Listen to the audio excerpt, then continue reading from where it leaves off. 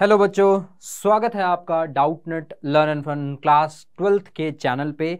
हम हैं विवेक आपके मैथ्स के भैया, और आज हम आपको one of the important chapter class twelfth का पढ़ाने वाले हैं, जिसका नाम है इंटीग्रेशन इंटीग्रेशन में आज बेसिकली हम क्या करवाएँगे? स्टार्टिंग से स्टार्ट करवाएँगे और कोशिश करेंगे कि जितनी जल्दी ये चैप्टर आप लोगों का फिनिश हो जाए, उतनी जल्दी कोशिश करेंगे करने की। बट याद रखना, जो भी क्वेश्चंस हम करवा रहे हैं, वो most most most important questions हैं। ठीक है? तो चलो आओ, शुरू करते हैं आपकी इंटीग्रेशन तो बच्चों देखो इंटीग्रेशन स्टार्ट करवाने से पहले इंट्रोडक्शन देने से पहले, सब कुछ बताने से पहले, एक बार फटाफट आप लोगों को बता देते हैं कि जो हम इंटीग्रेशन आपको करवाएँगे आज की क्लास में, उसमें क्या क्या टॉपिक्स होंगे और आगे क्या क्या टॉपिक्स होने वाले हैं। ठीक है? तो बेसिकली इंटीग्रेशन को हमने चार पार्ट्स में डिवाइड किया है। जो क्लास है, उसको चार पार्ट्स में डिवाइड किया। इसका मतलब बिल्कुल ये नहीं है कि चार लेक्चर्स में आपको ये पूरा चैप्टर मिलेगा, ठीक है? वो आपको पता लग जाएगा कि कितने चैप्टर्स कितने लेक्चर्स होंगे। पहला टॉपिक जो हमने लिया है, वो क्या लिया है? भाई inverse process of differentiation integration क्या है? एक इनवर्स प्रोसेस ऑफ़ डिफरेंशिएशन है। ये टॉपिक बड़ा डिटेल से आपको समझाया जाएगा। फिर उसके बाद geometrical definition of indefinite integrals and इसके साथ साथ आपके कुछ बेसिक फॉर्मुलेज हैं। बेसिक फॉर्मुलेज भी हैं, ठीक है? उसके बाद method of integration. Method of integration में बेसिकली आपके सिलेबस में सीबीएसई बोर्ड सिलेबस में तीन तीन ही मेथड हैं, जो कि क्या क्या है? Substitution partial fraction and by parts by parts substitution अगर देखो तो नाम से ही बता रहा है कि हम किसी चीज़ को सब्सटीट्यूट करते हैं।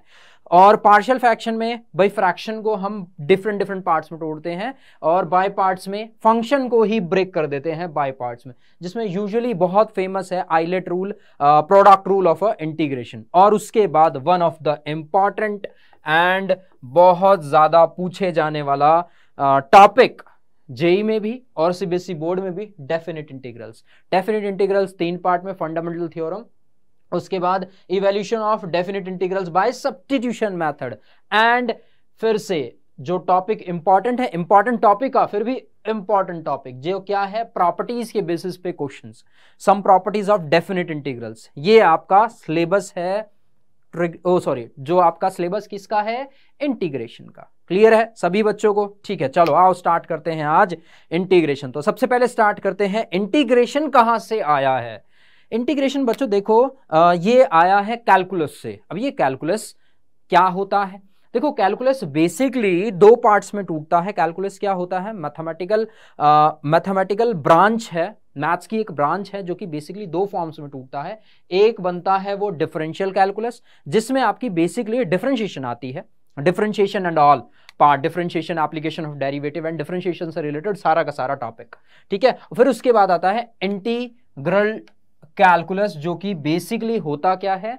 ये होता है इंटीग्रेशन से रिलेटेड आपके स्टडी इंटीग्रेशन से रिलेटेड स्टडी डेफिनेट इंटीग्रल से रिलेटेड स्टडी इनडेफिनेट इंटीग्रल से related studies and application of integration ठीक है? दो पार्ट्स में टूटते हैं.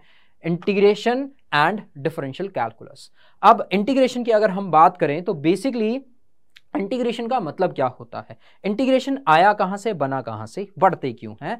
ठीक है तो सबसे पहले अगर हम इंटीग्रेशन की बात करें, जो कि हम बताते भी आ रहे हैं कि इंटीग्रेशन क्या होता है? इंटीग्रेशन होता है inverse process of differentiation inverse process भी बोल सकते हैं एंटी डेरिवेटिव भी बोल सकते हैं. एंटी डेरिवेटिव क्या होता है? देखो, आपने फिफ्थ चैप्टर में अपने पढ़ा होगा, क्या पढ़ा है? कि ये पढ़ा है कि जब हम डिफ्रेंशिएशन करते हैं ना किस चीज़ का? साइन एक्स का डिफ्रेंशिएशन करते हैं तो साइन एक्स का जो डिफ्रेंशिएशन होता है, वो होता है कॉस एक्स वो क्या होता है? वो होता है कॉस एक्स ये आपने डिफ्रेंशिएशन में पढ़ा है। अच्छा ये भी पढ़ा होगा कि जब हम डिफ्रेंशिएशन करते हैं, किस चीज़ का? जब हम डिफ्रेंशिएशन करते हैं x की पावर टेन का तो उसका डिफ्रेंशिएशन क्या आता है? वो आता है टेन इंटू एक्स की पावर नाइन है ना? ये डिफ्रेंशिएशन है। डिफ्रेंशिएशन फ़िलहाल बता रहे हैं। बट इंटीग्रेशन क्या होता है? एंटी एंटी डिफरेंशिएशन मतलब अगर हम इसका इंटीग्रेशन करें तो वो क्या बन जाता है? ये फ़ंक्शन बन जाएगा।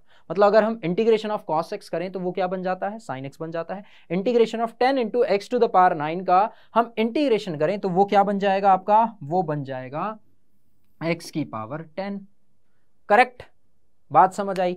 ठीक है तो ये था आपका छोटा सा बेसिक अच्छा ये चीज़ें मिट गई हैं। फटाफट इसको क्लियर करते हैं। एक्स की पावर टेन है ये। ठीक है? याद रखना इस चीज़ को। चलो आगे बढ़ते हैं। अच्छा अब ये तो था इंटीग्रेशन का बेसिक बेसिक फंडा अब इंटीग्रेशन बेसिकली दो पार्ट्स में टूटता है। कैलकुलस दो पार्ट में टूटता था इंटीग्रेशन डिफरेंशिएशन इंटीग्रेशन फिर दो पार्ट में टूटता है, जो कि होता है indefinite integrals and definite integrals अब ये डेफिनेट एंड इनडेफिनेट का मतलब क्या होता है? आप लोगों ने डेफिनेट का मतलब तो पता ही होगा आप लोगों को। डेफिनेट मतलब जिसको हम प्रॉपरली प्रॉपरली क्या रख सकते हैं? प्रॉपर बाउंड्री कंडीशन में रख सकते हैं। अब ये बाउंड्री कंडीशन क्या हो सकती है? मतलब एक प्रॉपर कमरे में रख सकते हैं। और इनडेफिनेट जो बिल्कुल खुला घूमता है, बिल्कुल खुला, बिल्कुल ना ना शर्म, ना लाज वाला हिसाब किताब होता है, ठीक है? तो इनडेफिनेट इंटीग्रल्स में होता क्या है? रिप्रेजेंट कैसे किया जाता है? इसको रिप्रेजेंट किया जाता है लाइक दिस इंटीग्रेशन ऑफ़ कुछ भी फ़ंक्शन ले सकते हो एफ़ एक्स ठीक है? इंटीग्रेशन किसके रेस्पेक्ट में हो रही है? डीएक्स के रेस्पेक्ट में। ये होता है इनडेफिनेट इंटीग्रल ऐसे लिखा जाता है, जहाँ पे कोई बाउंड्री कंडीशंस नहीं होती। अब ये बाउंड्री कंडीशंस क्या होती हैं? अब अगर इस इनडेफिनेट इंटीग्रल्स में हमने क्या कर दी? बाउंड्री कंडीशंस पुट कर दी। बाउंड्री कंडीशंस मतलब? मतलब लिमिट्स पुट कर दी। ए से लेके बी तो ये बन जाता है आपका क्या? ये बन जाता है डेफिनेट का केस ये किसका बन जाता है? ये बन जाता है डेफिनेट का केस मतलब मतलब इसको पता है कि कहाँ से कहाँ तक होना है। डेफिनेट इंटीग्रल्स में क्या होता है? इसको पता है मेरे को कहाँ से कहाँ होना है। लोअर लिमिट से अपर लिमिट इसमें कोई लिमिट है ही नहीं। इसमें नॉर्मल इसमें क्या होता है? जनरल टर्म्स आएँगे। जनरल जनरल चीज़ें आएँगी। जनरल फॉर्मूलाज लगेंगे। इसमें क्या लगेगा? इसमें स्पेसिफिक चीज़ें आएँगी। इसमें स्पेसिफिक चीज़ें आएँगी। स्पेसिफिकली डिफाइंड किया जाएगा इसको। इनडेफिनेट इंटीग्रल डेफिनेट इंटीग्रल्स को। इनडेफिनेट तो चिल वाला मामला होता है। इनडेफिनेट का चिल वाला मामला होता है। डेफिनेट का चिल वाला मामला नहीं होता। ये सीरियस होता है बहुत ज़्यादा। ये बहुत ज़्यादा सीरियस होता है। ठीक है? चलो तो ये था आपका इंटीग्रेशन के डिस्टिंग्विश इंटीग्रेशन दो पार्ट्स में होता है। बेसिकली ये जो पार्ट है ना, इसमें से आपका most probably five five marks के सॉरी चार मार्क्स का एक क्वेश्चन डेफिनेट बनता है। चांसेस होते हैं मैक्सिमम चांसेस होते हैं चार मार्क्स का एक क्वेश्चन बनता है। और इसी के अंदर ही डेफिनेट इंटीग्रल्स के अंदर ही आप स्टडी करते हो एप्लीकेशन ऑफ़ इंटीग्रेशन को। एप्लीकेशन ऑफ़ इंटीग्रेशन इसी के बाद इंटीग्रेशन के बाद नेक्स्ट चैप्टर किसका है? नेक्स्ट चैप्टर है आपका एप्लीकेशन ऑफ़ इंटीग्रेशन और वो चैप्टर जो है वो इनडेफिनेट इंटीग्रल का ही पार्ट है।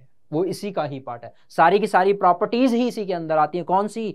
डेफिनेट इंटीग्रल्स वाली। वो जो प्रॉपर्टीज़ होती है ना कौन सी? ज़ीरो से लेके ए ज़ीरो से लेके टू ए फिर उसके बाद आ, ये तो फ़ेमस क्वेश्चंस ही है। आप लोगों ने अब तक तो पढ़ ही लिया होगा फ़ेमस क्वेश्चन माइनस ए से लेके ए इंटीग्रेशन करते हैं। तो अगर इवन फ़ंक्शन होता है तो क्या होता है? ऑड फ़ंक्शन होता है तो क्या होता है? बड़ा फ़ेमस क्वेश्चन एक मार्क्स में काफ़ी चांसेस होते हैं आने के। ठीक है? चलो, आगे बढ़ते हैं। चलो भाई, आगे बढ़ो। अच्छा ठीक है।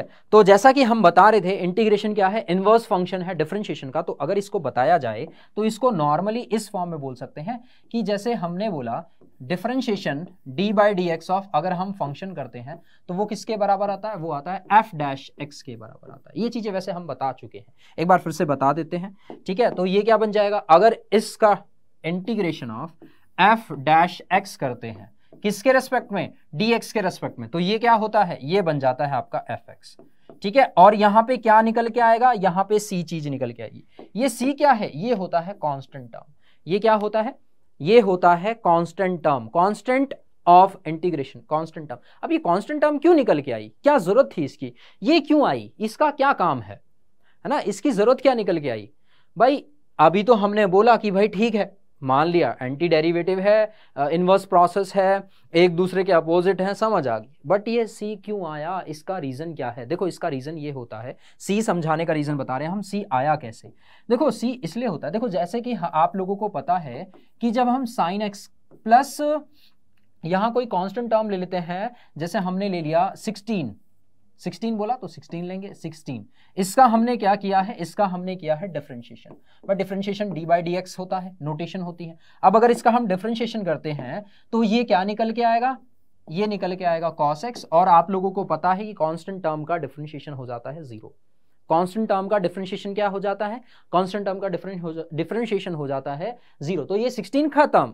ये 16 क्या हो गया? खत्म हो गया। बट अगर हम इसका इंटीग्रेशन करें अगर हम सिर्फ़ कॉस एक्स का इंटीग्रेशन करें तो वो क्या निकल के आता है? वो सिर्फ़ और सिर्फ़ निकल के आएगा साइन एक्स वो क्या निकल के आएगा? साइन एक्स बट अभी अभी हमने एक स्टेटमेंट पास करी है कि एक दूसरे का क्या होते हैं? डिफरेंशिएशन एंड इंटीग्रेशन एक दूसरे के क्या होते हैं? इनवर्स होते हैं। अभी अभी बताया जस्ट अभी अभी बताया इनवर्स प्रोसेस होते हैं। तो जब इनवर्स प्रोसेस होते हैं तो ये 16 गया कहाँ? ये 16 गया कहाँ? घूमने नहीं घूमने नहीं गया।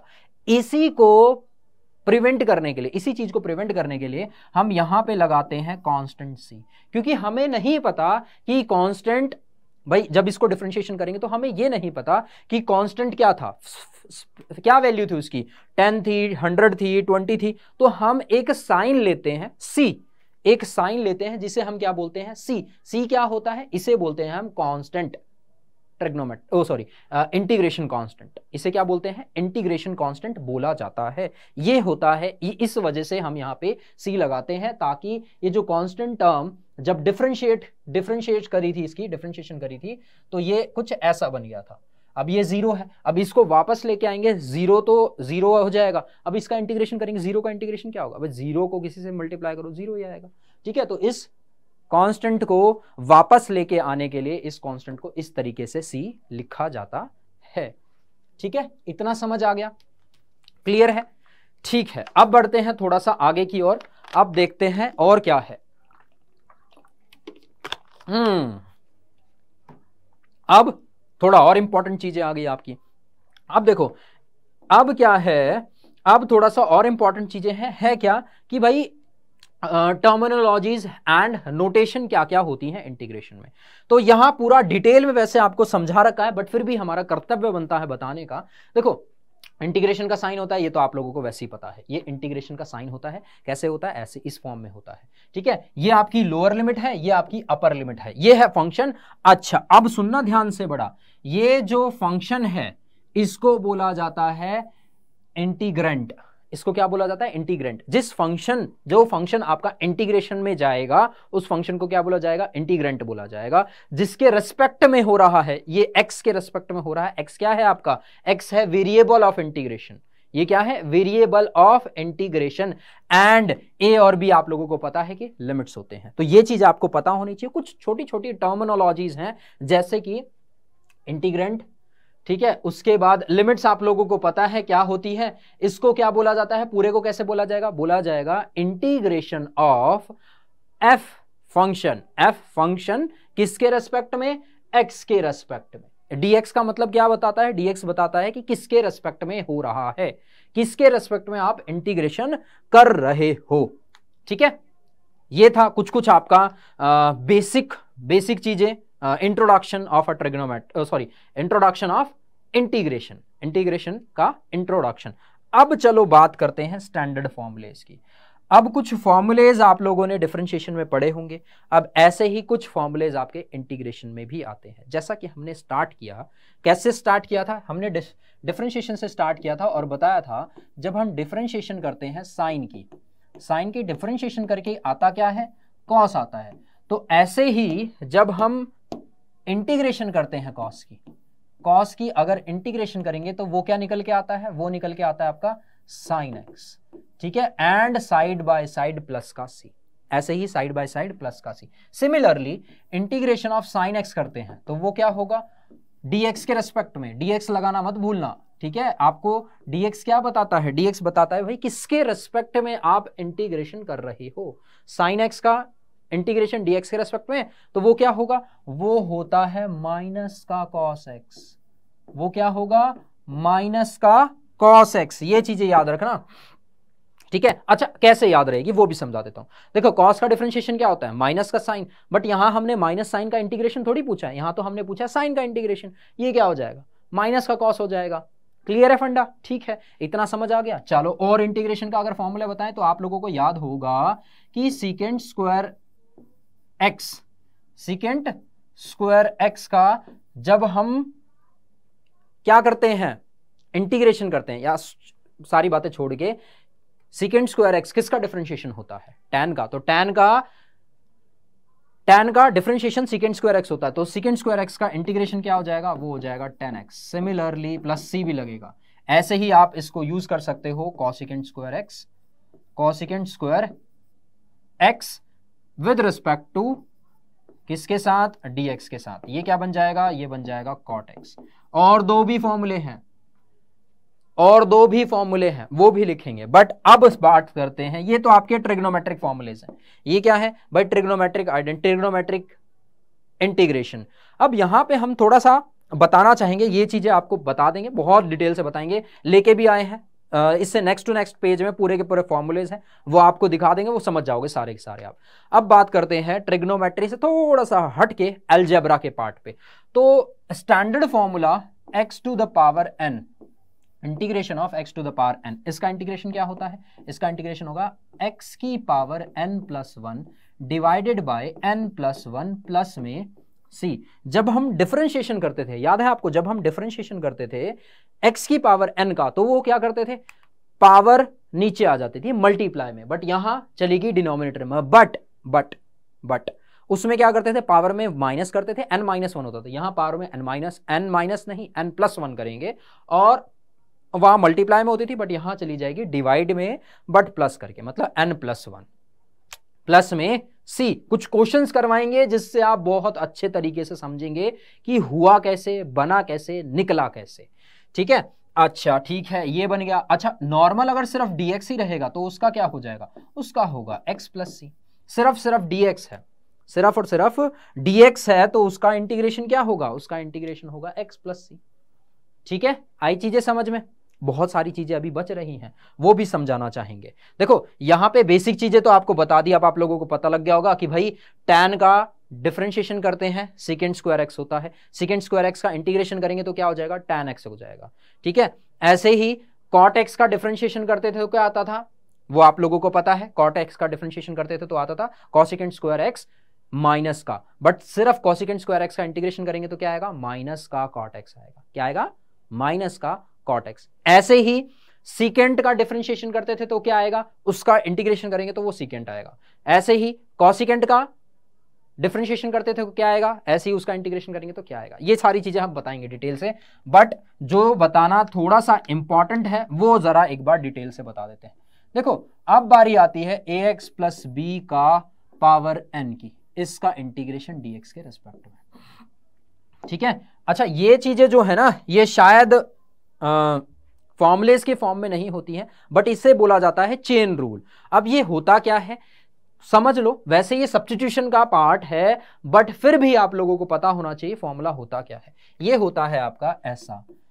ए एक्स प्लस में b whole to the power n plus one divided by n plus one into में ए और प्लस में सी किया क्या? डिटेल से वो भी बता देते हैं. देखो, सबसे पहले ऑब्वियस बात है पावर एन है तो पावर में एन प्लस वन ऐसे ही एन प्लस वन नीचे। बट यहाँ क्या होता है, जो बेस है ए एक्स प्लस बी है, उसका करेंगे डिफरेंशिएशन और वो डिनोमिनेटर में चला जाएगा। लाइक like दिस ये आया आपका ए ठीक है? एक और चीज़। अब एक और चीज़ हो सकती है यहाँ से, थोड़ा सा पेन चेंज करते हैं। यहाँ से आप बोलोगे integration of sine a x integration dx के रेस्पेक्ट में इसका क्या होगा? लगेगा यही वाला फॉर्मूला लगेगा बिल्कुल यही फॉर्मूला बट होगा ये माइनस का कॉस एंगल बनेगा ए एक्स बट जब डिनोमिनेटर की बारी आई तो इस पार्ट का मतलब एंगल का डिफरेंशिएशन करके डिनोमिनेटर के नीचे आ जाएगा। मतलब ये कुछ इस तरीके से हो जाएगा। प्लस में सी ठीक है? प्लस में सी मत भूलना। ठीक है? दो और इंपॉर्टेंट चीज़ें, क्या?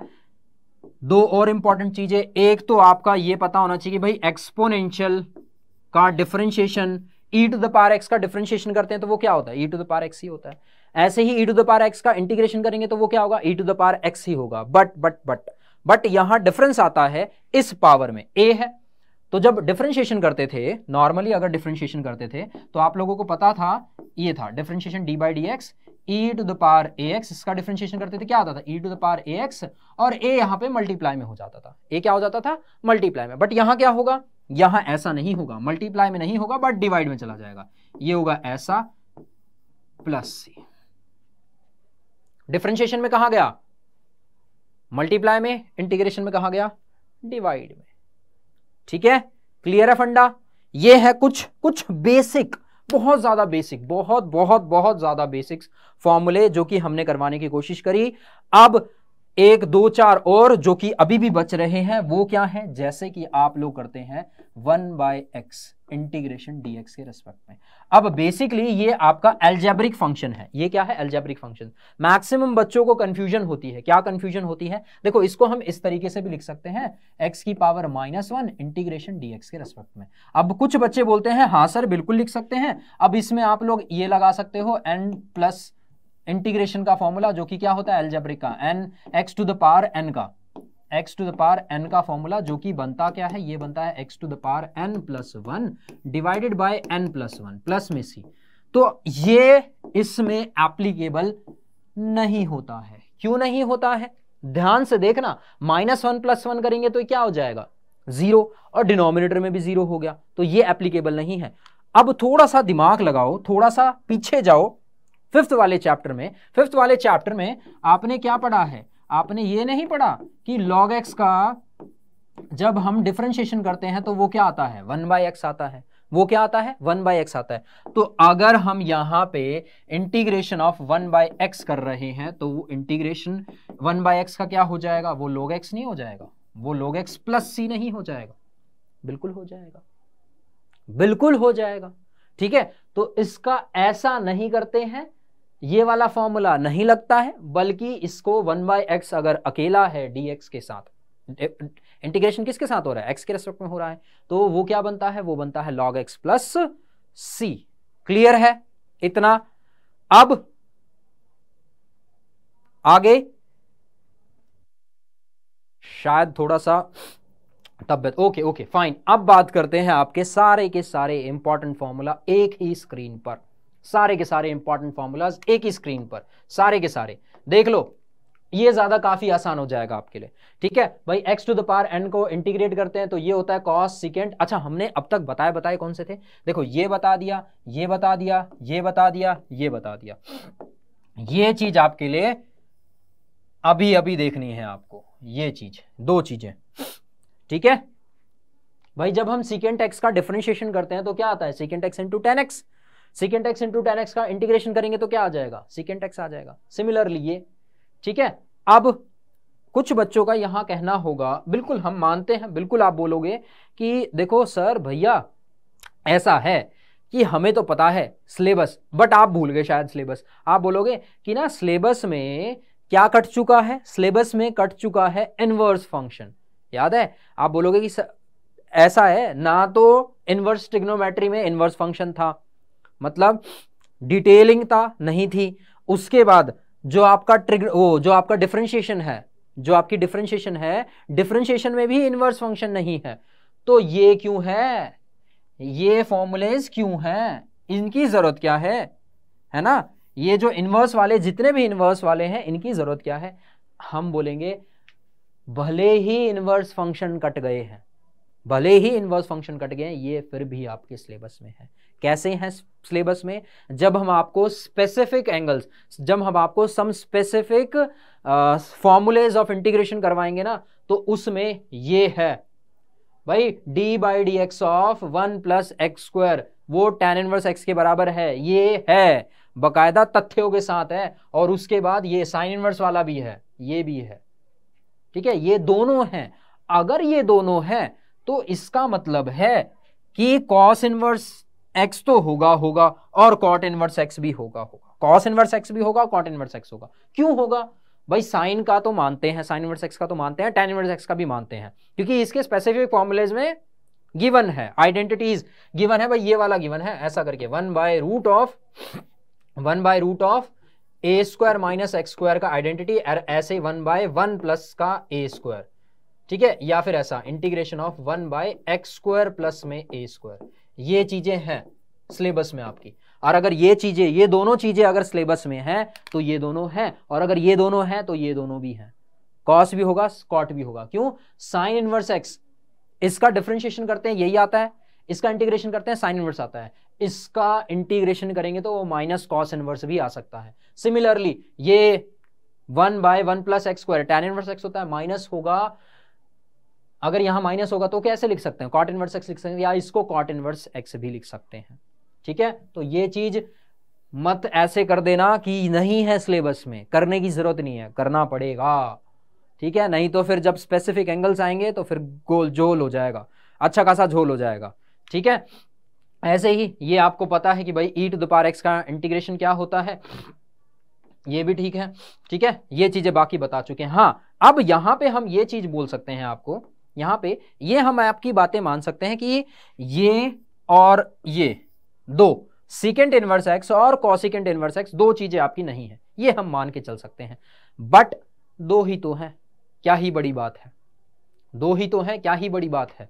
ठीक है? अच्छा इसमें अब दो चीज़ें मेंशनड नहीं है, जो कि क्या क्या है। जब आप इसको देखोगे, पूरा चार्ट देखोगे तो साइड बाय साइड ये चीज़ भी देख लेना कि ये वाला भी फॉर्मूला होता है कि ये है आपका अभी बताया था A x plus B whole to the power n का फॉर्मूला ठीक है, ये क्या होता था? ये होता था A x plus B whole to the power N plus one divided by A into में एन प्लस वन प्लस में सी एक ये वाला, फिर एक और था integration of sine of a X या कोई भी ट्रिग्नोमेट्रिक फ़ंक्शन ये क्या बन जाता था? ये बन जाता था माइनस का कॉस ए एक्स जो कि एंगल है डिवाइडेड बाय ए प्लस में सी ठीक है? और एक और है, जो कि फिर एक्सपोनेंशियल का है। यहाँ जो एक्सपोनेंशियल का फॉर्मूला मेंशन कर रखा है ना, वो सिर्फ़ e to the power x का है। लेकिन इसको ऐसा नहीं, बल्कि ऐसा देना चाहिए था। थोड़ा सा जल्दबाजी में ध्यान से उतर गया बट आप लोग लिख लो, ये ऐसा होता है। ठीक है? ये है पूरे पूरे फॉर्मूले मैं साइड हो जाता हूँ, आप इसको स्क्रीनशॉट लेना है स्क्रीनशॉट ले लो, लिखना है, लिख सकते हो थोड़ा सा टाइम देंगे, अच्छे से आप इसको लिख लो। फिर इन्हीं फॉर्मूलेस पे हम कुछ क्वेश्चंस बेसिक क्वेश्चंस करवाने वाले हैं आप लोगों को। ठीक है? बेसिक्स क्वेश्चंस करवाने वाले हैं। हम्म। ठीक है? पूरा डिटेलिंग के साथ अच्छे से, बढ़िया तरीके से बताएँगे। ध्यान से नोट कर लो कर लो आराम से, प्यार से। कोई भी दिक्कत परेशानी तो बता देना। ठीक है? नोट कर लिया होगा हम मान के चल रहे हैं सबने नोट कर लिया होगा। अब क्वेश्चंस करवाने से पहले दो इंपॉर्टेंट प्रॉपर्टीज़ बता देते हैं। ये दो अब तक हम बता चुके हैं। भाई पहली प्रॉपर्टी है आपकी आ, क्या डिफरेंशिएशन और इंटीग्रेशन आपस में क्या होते हैं? इनवर्स होते हैं। मतलब कि हम ऐसे बोल सकते हैं कि इंटीग्रेशन ऐसे बिल्कुल बोल सकते हैं जैसे इंटीग्रेशन और डिफरेंशिएशन ऑफ़ साइन एक्स तो आपस में जैसा कि हमने बोला इनवर्स फ़ंक्शन है तो ये क्या आ जाएगा? सिंपल साइन एक्स ही तो आ जाएगा। But differentiation of sine x integration of sine x वो क्या आ जाएगा? सिर्फ़ साइन एक्स ही आ जाएगा। इंटीग्रेशन और डिफरेंशिएशन आपस में क्या है? इनवर्स है इनवर्स है तो क्या होगा कैंसिल आउट सिर्फ़ और सिर्फ़ क्या बच गया? फ़ंक्शन बच गया। सिर्फ़ और सिर्फ़ क्या बच गया? फ़ंक्शन या इसको हाँ ये कहना ज़्यादा बेटर ऑप्शन होगा कि d by d x of f x d by d x of f x और इंटीग्रेशन, ये बन जाता है सिर्फ़ और सिर्फ़ आपका फ़ंक्शन एफ़ एक्स। ठीक? पहली प्रॉपर्टी। दूसरी प्रॉपर्टी क्या है? दूसरी प्रॉपर्टी है कि अगर दो फैमिलीज़ हैं कर्व की, ठीक है? Two indefinite integrals with the same derivative same derive differentiation हो रहा है तो वो क्या है? सेम कर्व पे लाई करती हैं। नॉट दैट मच इंपॉर्टेंट इतना ज़्यादा ज़रूरी नहीं है। बट सिंपल एक स्टेटमेंट है कि अगर दो क्या है? दो सेम इंटीग्रल सेम मतलब प्रॉपर्टीज़ लग रही हैं सेम आपकी इंटीग्रल आइडेंटिटीज हो रही हैं तो वो क्या होगी? सेम फैमिली से बिलोंग करेगा। ठीक है? एक ही फैमिली से बिलोंग करेगा। ठीक है? अब बात करते हैं जो इंपॉर्टेंट है उसकी। दो जो ये नीचे दिख रही हैं, जो कि व्हाइट व्हाइट में है, जानबूझ के भी डाली गई हैं, कि ये है इंपॉर्टेंट आपकी। अब कोई भी दो फ़ंक्शन है, एक है एफ़ एक्स एक है जी एक्स दोनों को ऐड किया गया है, उनका इंटीग्रेशन कैसे कर सकते हैं? दोनों को ब्रेक कर दो। मतलब? मतलब कि ये, आप डिटेल में समझाएँगे। देखो मतलब कि ये कि अगर आपका फ़ंक्शन कुछ ऐसे है इंटीग्रेशन बोल दिया है, यहाँ बोला है साइन एक्स और इधर बोला है एक्सपोनेंशियल इसका क्या करना है? इंटीग्रेशन करना है। तो इसको आप लोग क्या कर सकते हो? इसको आप लोग कर सकते हो ब्रेक ब्रेक मतलब इसको हम बोल सकते हैं ऐसे भी integration of sine x dx के रेस्पेक्ट में प्लस में इंटीग्रेशन ऑफ़ एक्सपोनेंशियल फ़ंक्शन किसके रेस्पेक्ट में? x के रेस्पेक्ट ये होती है आपकी थर्ड प्रॉपर्टी जो कि काफ़ी काम आती है। ठीक है? अब fourth identity fourth property fourth property ये बोलती है, अगर के क्या है? एक कोई कांस्टेंट टर्म है। कि क्या है? कौन कांस्टेंट टर्म है, और वो फ़ंक्शन के साथ मल्टीप्लाई हो रहा है तो पहले तो कांस्टेंट टर्म को बाहर निकालो। के क्या है? कांस्टेंट टर्म है, उसको क्या निकालो? बाहर निकालो, और फिर फ़ंक्शन का इंटीग्रेशन कर दो। जैसे कि, इसको भी बताते हैं, जैसे कि ये हमने बोला कि आपको क्या करना है? इंटीग्रेशन करना है। किस चीज़ का इंटीग्रेशन करना है? इंटीग्रेशन करना है हम्म, बहुत सारे ले लिया x to the power n का। इंटीग्रेशन करना है x to the power n का। बट इसके साथ मल्टीप्लाई में क्या है? इसके साथ मल्टीप्लाई में हमने ले लिया एम इसके साथ मल्टीप्लाई में क्या ले लिया? एम अब m into x to the power n का इंटीग्रेशन करना इससे बढ़िया आप इसको कैसे लिख सकते हो? M को निकालो बाहर और इंटीग्रेशन करो x to the power n का। ठीक है? आया समझ? ठीक है? आया? ये है आपकी कुछ प्रॉपर्टीज़ जो कि ये दोनों काफ़ी इंपॉर्टेंस रखती हैं, बहुत ज़्यादा महत्व रखती हैं इंपॉर्टेंस रखती हैं। ठीक है? बेसिक फॉर्मुलेज हो गए हैं बेसिक फॉर्मुलेज हो गए हैं बेसिक आइडेंटिटीज हो गई हैं। अब बेसिक क्वेश्चन की तरफ़ जाते हैं। बेसिक क्वेश्चंस की तरफ़ जाते हैं। तो ये है आपका आज का पहला क्वेश्चन आपकी स्क्रीन पर, जो कि दिखाई दे रहा है। ये बोला क्या गया है? बोला ये गया है एंटी डेरिवेटिव एंटी डेरिवेटिव मतलब इंटीग्रेशन। एंटी डेरिवेटिव को एक इंटीग्रेशन भी बोलते हैं, इंटीग्रल भी बोलते हैं। ठीक है, बताया था इंटीग्रेशन और एंटी डेरिवेटिव एंटी डेरिवेटिव मतलब इंटीग्रेशन एंटी इंटीग्रेशन मतलब डिफरेंशिएशन। ठीक है? तो ये है क्वेश्चन देखते हैं कितने बच्चे कर पाते हैं। हमें बोला क्या गया है? हमें बोला है कि इंटीग्रेशन फाइंड करना है किसका? जो गिवन फ़ंक्शन है उसका।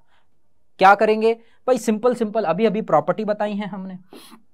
जस्ट अभी अभी प्रॉपर्टी बताई है। ये जो क्वेश्चन है, इसको पहले कैसे लिखोगे? इसको लिखोगे भाई इंटीग्रेशन किसके रेस्पेक्ट में है? भाई ऑब्वियस सी बात है वेरिएबल आपका एक्स है तो ये कुछ इस तरीके से लिखा जाएगा। साइन एंगल है टू एक्स माइनस का four e to the power three x integration किसके रेस्पेक्ट में हो रहा है?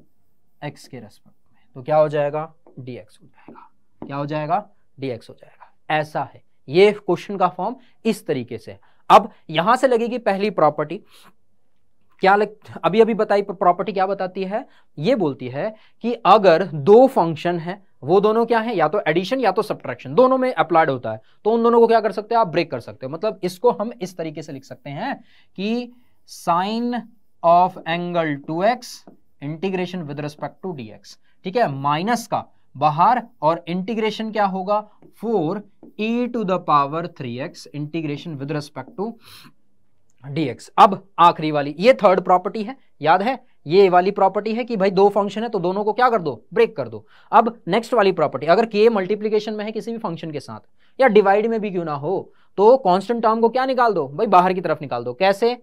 m into x to the power n था, m को निकाल लिया बाहर बाहर की तरफ़ निकाल दिया तो ये क्या बन जाएगा? ये इस तरीके से बन जाएगा। माइनस का four integration of e to the power three x integration with respect to d और यहाँ क्या हो जाएगा? Simple sine two x integration किसके रेस्पेक्ट में? डीएक्स के रेस्पेक्ट में।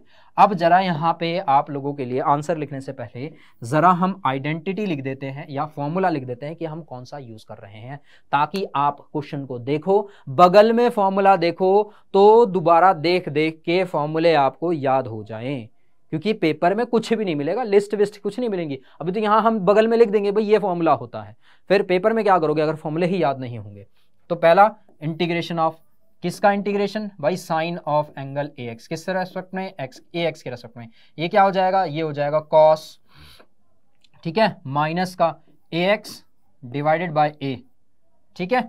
और दूसरा क्या है? दूसरा है e to the power integration of a x जो कि क्या होता था? ये होता था e to the power a x divided by a plus में सी यहाँ भी कांस्टेंट सी आएगा। यहाँ भी कांस्टेंट सी आएगा। दोनों लिख दिए। दोनों याद हो गए। भाई, वो प्लस सी है। वो थोड़ा सा छुप गया है आ, तो इसको ये दोनों सी कंसिडर करके चलो एक ही के हैं ठीक है? अब इसको करना है इसको सॉल्व करते हैं तो ये क्या बन जाएगा?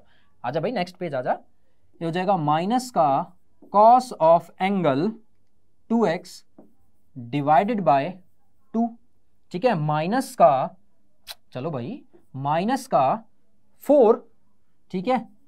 और ये था e की power three x by three और दोनों का कांस्टेंट हमने सी ले लिया। भाई, इसका भी कांस्टेंट सी आएगा, इसका भी कांस्टेंट सी आएगा। इसका सी वन बोल दो, इसका सी टू बोल दो। इसका कांस्टेंट हमने क्या बोल दिया? इसका बोल दिया सी वन इसका बोल दिया सी टू और ये common constant c one plus c two बोल दिया। अब इसको हम किस तरीके से लिख सकते हैं? इसको आप लिखना चाहो तो आप इसको इस तरीके से लिख सकते हो। माइनस का one by two cos of angle two x minus का four by three into e की पावर थ्री एक्स प्लस में कॉन्स्टेंट सी, ये है आपका इंटीग्रेशन। इस तरीके से आप करोगे, ठीक है? आई बातें समझ में?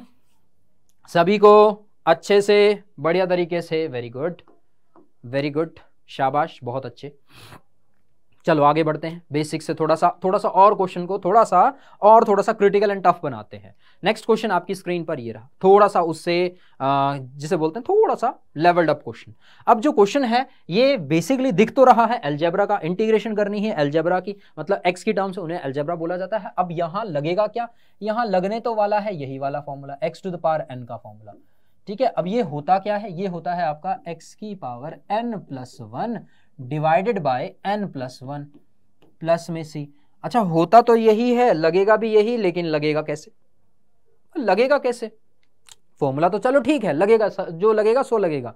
बट ये डिनोमिनेटर में ना रूट एक्स है, ये बड़ी दिक्कत दे रहा है, ये ना बड़ी कंफ्यूज कर रहा है करें कैसे, होगा कैसे, समझ नहीं आ रहा। तो चलो आओ समझाते हैं। देखो, अगर इस क्वेश्चन को आप थोड़ा सा और डिटेल में समझो तो इसको हम कुछ ऐसे नहीं लिख सकते ब्रेक करके। एक्स की power three divided by root of x ठीक है? प्लस में integration three x divided by root x plus में integration four divided by root x integration सबके dx के रेस्पेक्ट में हो रहा है। तो सब में लिख दिया dx. ठीक है? इतना सभी को समझ आया? भाई ब्रेक कर दिया। बाकी इसको क्या करें? ब्रेक ही करने का एक ऑप्शन बचता है। अब अगर आपको याद हो, क्या आप लोगों ने छोटी क्लासेस में पढ़ा है कि अगर x की पावर या रूट ऑफ़ एक्स उसको कैसे लिखा जाता है? एक्स की पावर वन बाय टू लिखा जाता है। क्यूब रूट ऑफ़ एक्स कैसा लिखा जाता है? क्यूब रूट ऑफ़ एक्स किस तरीके से लिखा जाता है? वो लिखा जाता है एक्स की पावर वन बाय थ्री और एनएथ रूट एनएथ रूट को कैसे लिखा जाता है? एक्स की पावर वन बाय एन लिखा जाता है। ऐसे ही लिखा जाता है। बिल्कुल ऐसे ही लिखा जाता है। तो ठीक है। इसको बताने का मतलब क्या था? मतलब सिंपल बताने का मतलब ये था कि ये जो टर्म है ना, ये वाली, सिर्फ़ इसको बता रहे हैं, फ़िलहाल अभी बता सॉल्व करके। इसको बता रहे इसको हम कैसे लिख सकते हैं? इसको इस तरीके से लिख सकते हैं, x की power three divided by x की power one by two integration ठीक है? इसको हम इस तरीके से लिख सकते हैं, लिखा जा सकता है। ठीक है? उससे फ़ायदा क्या होगा? देखो, उससे फ़ायदा ये होगा, x एट x दोनों क्या है? बेस सेम है तो पावर अगर डिवाइड में, अगर ये सेम होती हैं और डिवाइड में हो तो क्या हो जाती है पावर माइनस मतलब समझ नहीं आया? अभी समझाते हैं। देखो, हमारे कहने का ये मतलब था कि अगर x की power m divided by x की पावर n होता है तो वो क्या होता है? x की पावर m माइनस का n होता है। x की पावर m माइनस का n होता है। तो मतलब इसको हम किस तरीके से लिख सकते हैं? It can be written as x की पावर थ्री माइनस का वन बाई टू ठीक है? अभी इंटीग्रेशन भी नहीं करी है। सिंपल हम नॉर्मल फॉर्म कर रहे हैं। सिंपल नॉर्मल कर रहे हैं। एक्स की power three minus one by two कितना हो गया? एक्स की power three minus one by two तो ये कितना हो जाएगा? Six minus one by two तो ये कितना बन गया? ये बन गया एक्स की पावर फाइव बाई टू मतलब अपन लोगों को इंटीग्रेशन इसका करना है। मतलब ये जो था, ये ऐसा बनेगा। आया समझ? तो अगर इसको हम अब सॉल्व करें, अब इसको खोलें तो ये कुछ ऐसा बनेगा इंटीग्रेशन एक्स की power five by two integration with respect to d x अब फर्दर इसको सॉल्व करें। इसको देखो, इसकी पावर है वन और इसकी पावर है वन बाई टू तो one minus one by two क्या हो जाएगा? वन बाई टू और थ्री चला जाएगा बाहर प्रॉपर्टी का यूज़ करते हुए तो ये हो जाएगा थ्री इंटीग्रेशन ऑफ़ एक्स की पावर वन बाय टू ठीक है? इतना समझ आया? सिंपल कुछ नहीं किया है। सिंपल, इसमें वन थी पावर, इसमें वन बाई टू थी। वही चीज़ लगाई, one minus one by two. One में से वन बाई टू जाएगा तो क्या बचेगा? वन बाई टू बचेगा। सिमिलरली यहाँ से फोर बाहर लिया। ये सिर्फ़ one by one by x है। और डिनोमिनेटर में है। ऊपर जाएगा तो क्या हो जाती है? पावर रेसिप्रोकल हो जाती है। तो ये क्या हो जाता है? माइनस का। तो ये कुछ ऐसा बन जाएगा आपका। प्लस में फोर, इंटीग्रेशन ऑफ़ एक्स की पावर माइनस का वन बाई टू। रूट लगा है तो क्या बन जाएगा? रूट लगा है तो क्या बन जाएगा? माइनस का वन बाई टू बन जाएगा। रूट लगा है तो क्या बन जाएगा? माइनस का बन जाएगा। सॉरी रूट लगा है तो वन बाई टू बन जाएगा और डिनोमिनेटर से न्यूमरेटर में लेके आ रहे हैं तो क्या बन जाएगा? माइनस का बन जाएगा। इस तरीके से। और इंटीग्रेशन किसके रेस्पेक्ट में हो रहा है? भाई डीएक्स के रेस्पेक्ट में हो रहा है? कर दो सॉल्व अब। अब नॉर्मली सॉल्व कर दो। कौन सी आइडेंटिटी लगानी है? नहीं लिख रखी? वो रही ना ये लिख रखी? यही वाली लगानी है। X to the power n integration with respect to x will be equals to x की power n plus one divided by n plus one plus में c, ठीक है? इसको फर्दर सॉल्व कर दो और खत्म. क्वेश्चन ये बन जाएगा आपका किसके बराबर? x की power seven by two divided by seven by two ठीक है? प्लस में थ्री एक्स की power three by two divided by three by two plus में फोर एक्स की पावर ये बन जाएगा one by two. Minus one by two plus one करोगे तो क्या बनेगा? One by two. और ये बन जाएगा इस तरीके से। इसको फर्दर हम क्लीनली सॉल्व करें तो ये आ जाएगा अपने पास दो बटे सात, two by seven into x की पावर सेवन बाई टू। ठीक है? प्लस में थ्री आउट थ्री कैंसिल तो ये बन गया टू एक्स की power three by two. And two ऊपर चला जाएगा, ये बन जाएगा एट इंटू एक्स की पावर वन बाई टू ये आएगा आपका आंसर ठीक है? इंटीग्रेशन ऑफ़ दिस वाला पार्ट डिटेल में समझाया है पूरा अच्छे से क्लीन शेप पूरा अच्छे से डिटेल में कंप्लीटली सॉल्व करके बताया कि कैसे होगा कहाँ से होगा किधर से आएगा कौन सी आइडेंटिटी बिल्कुल ज़ीरो बेसिक से बिल्कुल ऐसे पढ़ा रहे हैं जैसे बिल्कुल नहीं आता आप लोगों को। ठीक है? चलिए अब बात करते हैं नेक्स्ट क्वेश्चन की। अब ये क्वेश्चन आप लोगों का आ, सेल्फ है। इसको आप खुद से ट्राई करना। जस्ट बिल्कुल रिपीट है। अब इसमें क्या करोगे? भाई सिंपल सी बात है, ये क्या है आपका? क्यूबिक क्यूबिक पॉलिनोमियल है। क्यूबिक पॉलिनोमियल है और नीचे क्या है? क्वाड्रेटिक है। अब सिंपल सा काम इसमें ये बनता है, क्या ये डिवाइड हो रहा है? अगर आप ध्यान से देखो ना तो ये हाँ बिल्कुल डिवाइड हो रहा है। बिल्कुल डिवाइड हो रहा है। पूरा कंप्लीटली डिवाइड हो रहा है। सिंपल आप एक तरीका इससे भी कर सकते हो कि भाई ये एक्स स्क्वायर ले लिया, अंदर की तरफ़ एक्स माइनस वन बच गया प्लस वन ले लिया और ये बन गया एक्स माइनस वन इसको हम बोल सकते हैं x to the power two plus one into में एक्स माइनस वन मतलब ये आपका डिनोमिनेटर है। ये क्या है? डिनोमिनेटर है। डिनोमिनेटर और सॉरी न्यूमरेटर ये क्या है? न्यूमरेटर है आपका। एक्स स्क्वायर बाहर निकाल के, इन दोनों टर्म्स में से एक्स स्क्वायर बाहर निकाल के, अंदर बच गया एक्स माइनस वन यहाँ से प्लस वन बाहर निकाल के ये बन गया। अब इसको एक्स माइनस वन से एक्स माइनस वन काट दो, बचेगा क्या? सिर्फ़ ये बचेगा, इसका इंटीग्रेशन करना है। क्या बड़ा काम है? ठीक है? तो ये खुद से है बट बता तो हमने दिया ही है। आगे बढ़ते हैं नेक्स्ट क्वेश्चन की ओर। नेक्स्ट क्वेश्चन की ओर बढ़ते हैं। आजा भाई नेक्स्ट क्वेश्चन हाँ जी ये रहा आपका नेक्स्ट क्वेश्चन क्या ये आप लोग कर पाओगे? हाँ जी क्या इसको सॉल्व कर पाओगे? देखो हमने पढ़ा है क्या पढ़ा है कि कुछ बच्चे ना यहाँ पे जो मिस्टेक करते हैं ना वो हम अभी करके दिखाएँगे। देखो कुछ बच्चे मिस्टेक क्या करते हैं पता है? आ, कि हमने फॉर्मूले दो फॉर्मूले पढ़े हैं। क्या फॉर्मूले पढ़े हैं? कि इसको ऐसा पढ़ा है integration of secant square x पढ़ा है। अभी अभी फॉर्मूला बताया था आपने कि सिकेंड स्क्वायर एक्स का इंटीग्रेशन क्या होता है? टेन एक्स होता है। ठीक है? और ऐसे ही आ, जो आपका कॉसिकेंड स्क्वायर एक्स होता है ना उसका इंटीग्रेशन क्या होता है? माइनस का कॉट एक्स होता है। तो आ गया आंसर टेन बाय कॉट तो सिंपल सा आंसर आ गया टेन बाय कॉट आंसर आ गया। ऐसा मत कर देना। ठीक है? ऐसा बिल्कुल मत करना कि भाई इसका इंटीग्रेशन क्या ये आंसर आ गया। ठीक है? भाई इंटीग्रेशन क्या हो गया? ऊपर इंटीग्रेशन नीचे इंटीग्रेशन और ये सॉल्व करके आंसर आ गया। ये गलत है। ये पूरा गलत है। क्या हम डिफ्रेंशिएशन ऐसे करते हैं? न्यूमरेटर अपॉन डिनोमिनेटर की फॉर्म में होता है तो। नहीं, उसमें क्या लगता है? क्वेश्चन रूल लगता है तो ऐसे के इंटीग्रेशन कर सकते हैं क्या? बिल्कुल नहीं कर सकते। ठीक है तो इस केस में क्या करना है? जैसा कि हमें पता है कि न्यूमरेटर और डिनोमिनेटर मतलब क्वेश्चन रूल होता नहीं है इंटीग्रेशन में। और अब तक हमने पढ़ा नहीं है, अब तक हमने सिर्फ़ बेसिक पढ़ा है तो इसको भी बेसिक से ही करना है। अब इतना भी बेसिक नहीं करना है कि सब कुछ ही गलत कर दो। ये गलत है। अब सही कैसा होगा? देखो, समझाते हैं। देखो, आप लोगों को टेंथ क्लास में कुछ चीज़ें बताई गई थी। क्या क्या बताई गई थी? वो मैं एक बार फिर से बताना चाहूँगा कि जो हम सिकेंट लिखते हैं, वो होता है आपका कॉस का रेसिप्रोकल मतलब secant x can be written as one by cos similarly आपको जो कॉसिकेंट होता है, उसको हम कैसे लिख सकते हैं? उसको लिख सकते हैं वन बाय साइन उसको कैसे लिख सकते हैं? वन बाय साइन की फॉर्म में लिख सकते हैं। तो ये ऐसा ही तो दिख रहा है। तो इसको हम कैसे लिख सकते हैं? It can be written as one by cos square x whole divided by one by sine square x integration with respect to d x तो अब इसको फर्दर सॉल्व करा जाए तो ये क्या बन जाएगा? ये बन जाएगा साइन बाय कॉस ये बन जाएगा sine square x divided by cos square x integration with respect to d x और ये सीधा सीधा बन जाएगा फॉर्म टेन का। मतलब ये बन गया tan square x t x पता लगा ना टेन कैसे आया? टेन नहीं होता टैन होता है। Tangent theta tangent of angle x ठीक है? तो यहाँ से साइन चला गया न्यूमरेटर में कॉस चला गया डिनोमिनेटर में। ये तो आप लोगों को पता लग गया होगा ना कैसे बना। यहाँ से simple A by B divided by देखो चलो, जिसको नहीं आया उसके लिए भी बता देते हैं।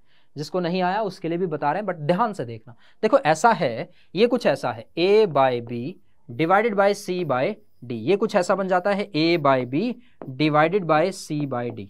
ऐसा ही बनता है। अब ये डिवाइड को जब हम मल्टीप्लाई करते हैं तो डी न्यूमरेटर में, सी डिनोमिनेटर में। वही तो चीज़ की है, साइन बाय कॉस। और टेन आपको पता है टेन क्या होता है? Sine theta by cos theta. Sine of angle x divided by cos of angle x. Tan आ गया।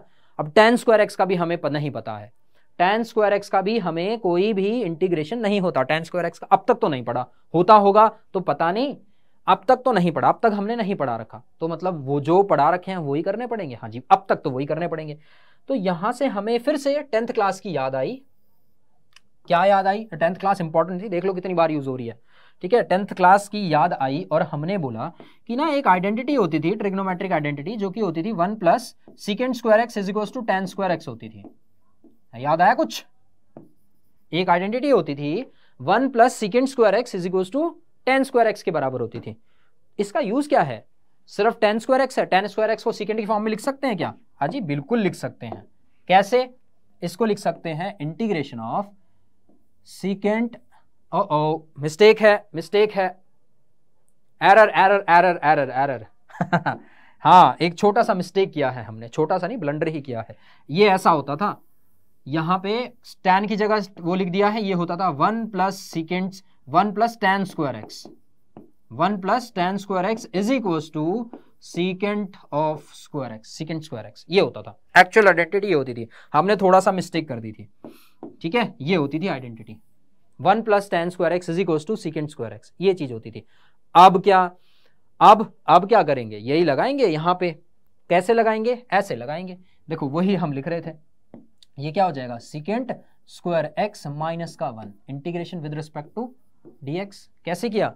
टेन स्क्वायर एक्स इधर ही रखा माइनस वन उधर चला गया तो क्या बन गया? माइनस का बन गया। अब इसको सॉल्व कर सकते हैं। इसको सॉल्व करेंगे तो ये क्या बन जाएगा? इसको सॉल्व करेंगे तो ये बन जाएगा integration of secant square x minus बाहर वन का इंटीग्रेशन डीएक्स के रेस्पेक्ट में, यहाँ भी डीएक्स आएगा तो ये क्या बन जाएगा? सीकेंड स्क्वायर एक्स का अभी अभी इंटीग्रेशन का फॉर्मूला बता रखा है। क्या होता है?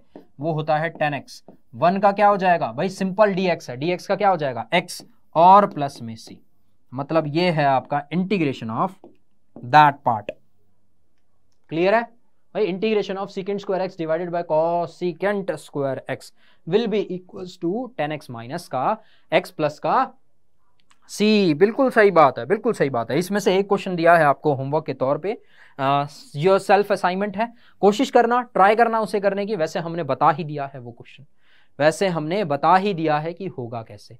ठीक है, अब बढ़ते हैं नेक्स्ट पार्ट की और नेक्स्ट टॉपिक की ओर, जो कि क्या है? Method of integration method of integration जो बेसिकली तीन पार्ट्स होते हैं। ठीक है बेसिकली तीन पार्ट्स होते हैं। वो क्या क्या होते हैं? ये आपको स्क्रीन पर दिख रहे हैं। Substitution method partial fraction method and parts method अगर हम बात करें सब्सटीट्यूशन मैथड की सब्सटीट्यूशन मेथड में क्या करते हैं हम? सब्सटीट्यूशन मैथड में एक फ़ंक्शन को सब्सिट्यूट कर दिया जाता है। सब्सिट्यूट मतलब आप लोगों ने क्रिकेट का गेम या फुटबॉल का गेम या हॉकी का गेम या फिर कबड्डी का गेम देखा होगा। हम क्या करते हैं? प्लेयर को सब्सिट्यूट कर देते हैं। मतलब वो जो प्लेयर खेल रहा होता है अंदर की तरफ़, उसको बोलते हैं, भाई, आजा आजा। बाहर आजा, तूने बहुत खेल लिया। ठीक है? दूसरा वाले प्लेयर को उसकी जगह खेलने के लिए भेज देते हैं। ठीक है? सेम काम यहाँ किया जाता है। मतलब यहाँ होता है इंटीग्रेशन एफ़ एक्स का। ठीक है? dx के रेस्पेक्ट में। अब इस x के फ़ंक्शन को रिप्लेस करके हम क्या कर देते हैं? हम कर देते हैं integration f g of x बना देते हैं इसको। ठीक है, इसको रिप्लेस करके सब्सटीट्यूट करके दूसरा फ़ंक्शन बना देते हैं। अच्छा किया क्यों जाता है? किया क्यों जाता है? अब गेम में, किसी भी एक्स वाई जेड गेम में, हम प्लेयर को सब्सटीट्यूट क्यों करते हैं? या तो वो ज़्यादा थक गया हो, ठीक है? या तो उससे गोल नहीं हो रहा हो, या स्कोर नहीं हो रहा हो, या फिर वो इच्छुक ही ना हो खेलने का, ठीक है? तो या फिर उससे बढ़िया प्लेयर बैठा हो बाहर, जिसको हमें अंदर भेजना है। दोनों प्लेयर अच्छे हैं बट वो क्या हो? लियोनन मैसी हो। फुटबॉल की बात करते हैं। ठीक है, ऐसे ही सेम इसमें होता है। क्या पता ये हो जाए बट हमें रोनाल्डो या फिर मैसी को भेज दिया, रोनाल्डो और मैसी क्या करेंगे? फटाफट गोल करके आ जाएँगे। ठीक है तो सब्सटीट्यूशन क्या करता है? जल्दी से काम खत्म किया, अपना काम खत्म, हो गया इंटीग्रेशन खत्म। ठीक है, वो काम होता है सब्सटीट्यूशन मेथड का। ठीक है, दूसरा मेथड क्या होता है आपका? दूसरा मेथड होता है पार्शियल फ्रैक्शन ये बेसिकली डिनोमिनेटर में किया जाता है। ठीक है, जब डिनोमिनेटर अतड़म तिगड़म लगा है मतलब थोड़ा सा अजीब सा डिनोमिनेटर दिखता है, तब यहाँ पार्शियल फ्रैक्शन किया जाता है मतलब फ्रैक्शन को पार्ट्स में ब्रेक कर दिया जाएगा मतलब डिनोमिनेटर को तोड़ दिया जाएगा। डिनोमिनेटर को ब्रेक की फॉर्म ब्रेक कर दिया जाएगा। और बाय पार्ट्स क्या होता है? ये तो बड़ा फ़ेमस है। ये बेसिकली बाय पार्ट्स मतलब यहाँ यूज़ होता है आपका क्या? U dot v product rule of integration जिसमें क्या होता है? जिसमें होता है आईलेट जिसमें क्या यूज़ होता है? प्रोडक्ट रूल आईलेट का मतलब आप लोगों को पता होना चाहिए। आईलेट का मतलब होता है, बताओ बताओ। चलो ठीक है कमेंट करना कि आईलेट का मतलब क्या होता है। वैसे हम बताने ही वाले थे I L A T E इसका मतलब क्या होता है? हर एक लेटर का अलग से एक, हर एक लेटर नहीं, हर एक अल्फ़ाबेट का अलग ही मतलब होता है। आई फॉर ई फॉर चलो exponential I for inverse inverse function. L A T तीन शब्द बच गए। तीन शब्द का तो मतलब हमें कमेंट करके बता देना भाई क्या होता है, क्या नहीं होता है। ठीक है? इतना तो कर ही सकते हो। ठीक है? इतना तो कर सकते हो। इतना तो हम एक्सपेक्ट करते हैं आप लोगों से। चलो चलो। अब स्टार्ट करते हैं आपका। ये बेसिक चीज़ें होगी सारी। मैथड ऑफ़ इंटीग्रेशन तीन होते हैं। Substitution by parts and partial fraction अब बात करते हैं। अभी हम स्टडी करवा रहे हैं किस चीज़ की। अभी हम बताते हैं आपको कौन सा सब्सटीट्यूशन मेथड क्या होता है? जैसा कि हमने अभी अभी बताया फॉर एग्ज़ाम्पल के तौर पे लेना, एक छोटा सा मैं एग्ज़ाम्पल देना चाहूँगा इसके रिगार्डिंग ताकि आपको जल्दी समझ आ जाए। जैसे हमने बोला कि मेरे को इंटीग्रेशन करनी है, थोड़ा सा दूसरा पैन चेंज करते हैं। जैसे कि मैंने बोला कि इंटीग्रेशन करनी है, किस चीज़ की? भाई टेन एक्स की करनी है। किसके रेस्पेक्ट में करनी है? सिकेंड स्क्वायर मतलब करनी तो एक्स के रेस्पेक्ट में है। इंटीग्रेशन किसकी करनी है? भाई, इसकी इंटीग्रेशन करनी है tan x into secant square x d x अब कर तो सकते हैं नॉर्मली कर सकते हैं बट यहाँ हमने देखा कि हम सब्सिट्यूट कर देंगे। अब सब्सिट्यूट करेंगे तो ये क्या हो गया?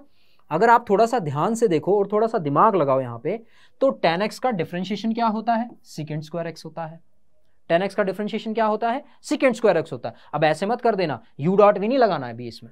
यू डॉट वी कब लगता है? जब डिफरेंट डिफरेंट फ़ंक्शंस होते हैं। दो अलग अलग फ़ंक्शन होते हैं। ये दोनों के दोनों ट्रिग्नोमेट्रिक फ़ंक्शन है। ये दोनों के दोनों क्या? है ट्रिग्नोमेट्रिक फ़ंक्शन तो यहाँ पे हमने बोला, हमने अगर टैन को क्या पुट कर दिया? टेन एक्स को पुट कर दिया टी मतलब एक दूसरा फ़ंक्शन फ़ंक्शन था एक्स का बट हम दूसरे फ़ंक्शन में उसको कन्वर्ट कर रहे हैं। मतलब टी में कन्वर्ट कर दिया।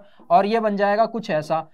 ये बना क्या? ये बना d t by d x भाई, जब हम टेन एक्स को टी की फॉर्म में कन्वर्ट कर रहे हैं तो ये जो dx है, dx भी तो कन्वर्ट होगा।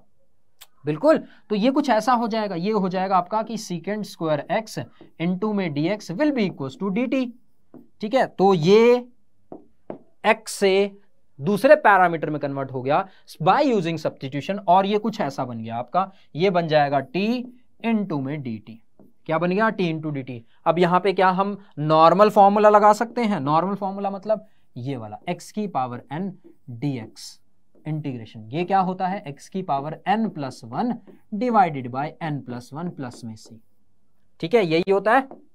सभी को पता है ना? तो ये क्या हो जाएगा? ये हो जाएगा t की power two divided by two plus में c. हाँ जी आई बात समझ? अब टी क्या हो जाएगा? भाई, टी तो हमने अभी अभी बताया कि टेन है तो मतलब इसका जो इंटीग्रेशन है, वो किसके बराबर है? वो है tan square x divided by two plus में सी ठीक है? मतलब अच्छा ये तो चलो एक क्वेश्चन ही करवा दिया पूरा का पूरा। एक क्वेश्चन ही ले लिया क्वेश्चन ही करवा दिया। बट नॉर्मल तरीका बताते हैं फ़ंक्शन फ़ंक्शन करके। इसका बताते हैं कि होता क्या है। देखो सिंपल तरीके से अगर आप समझो तो इसमें क्या होता है?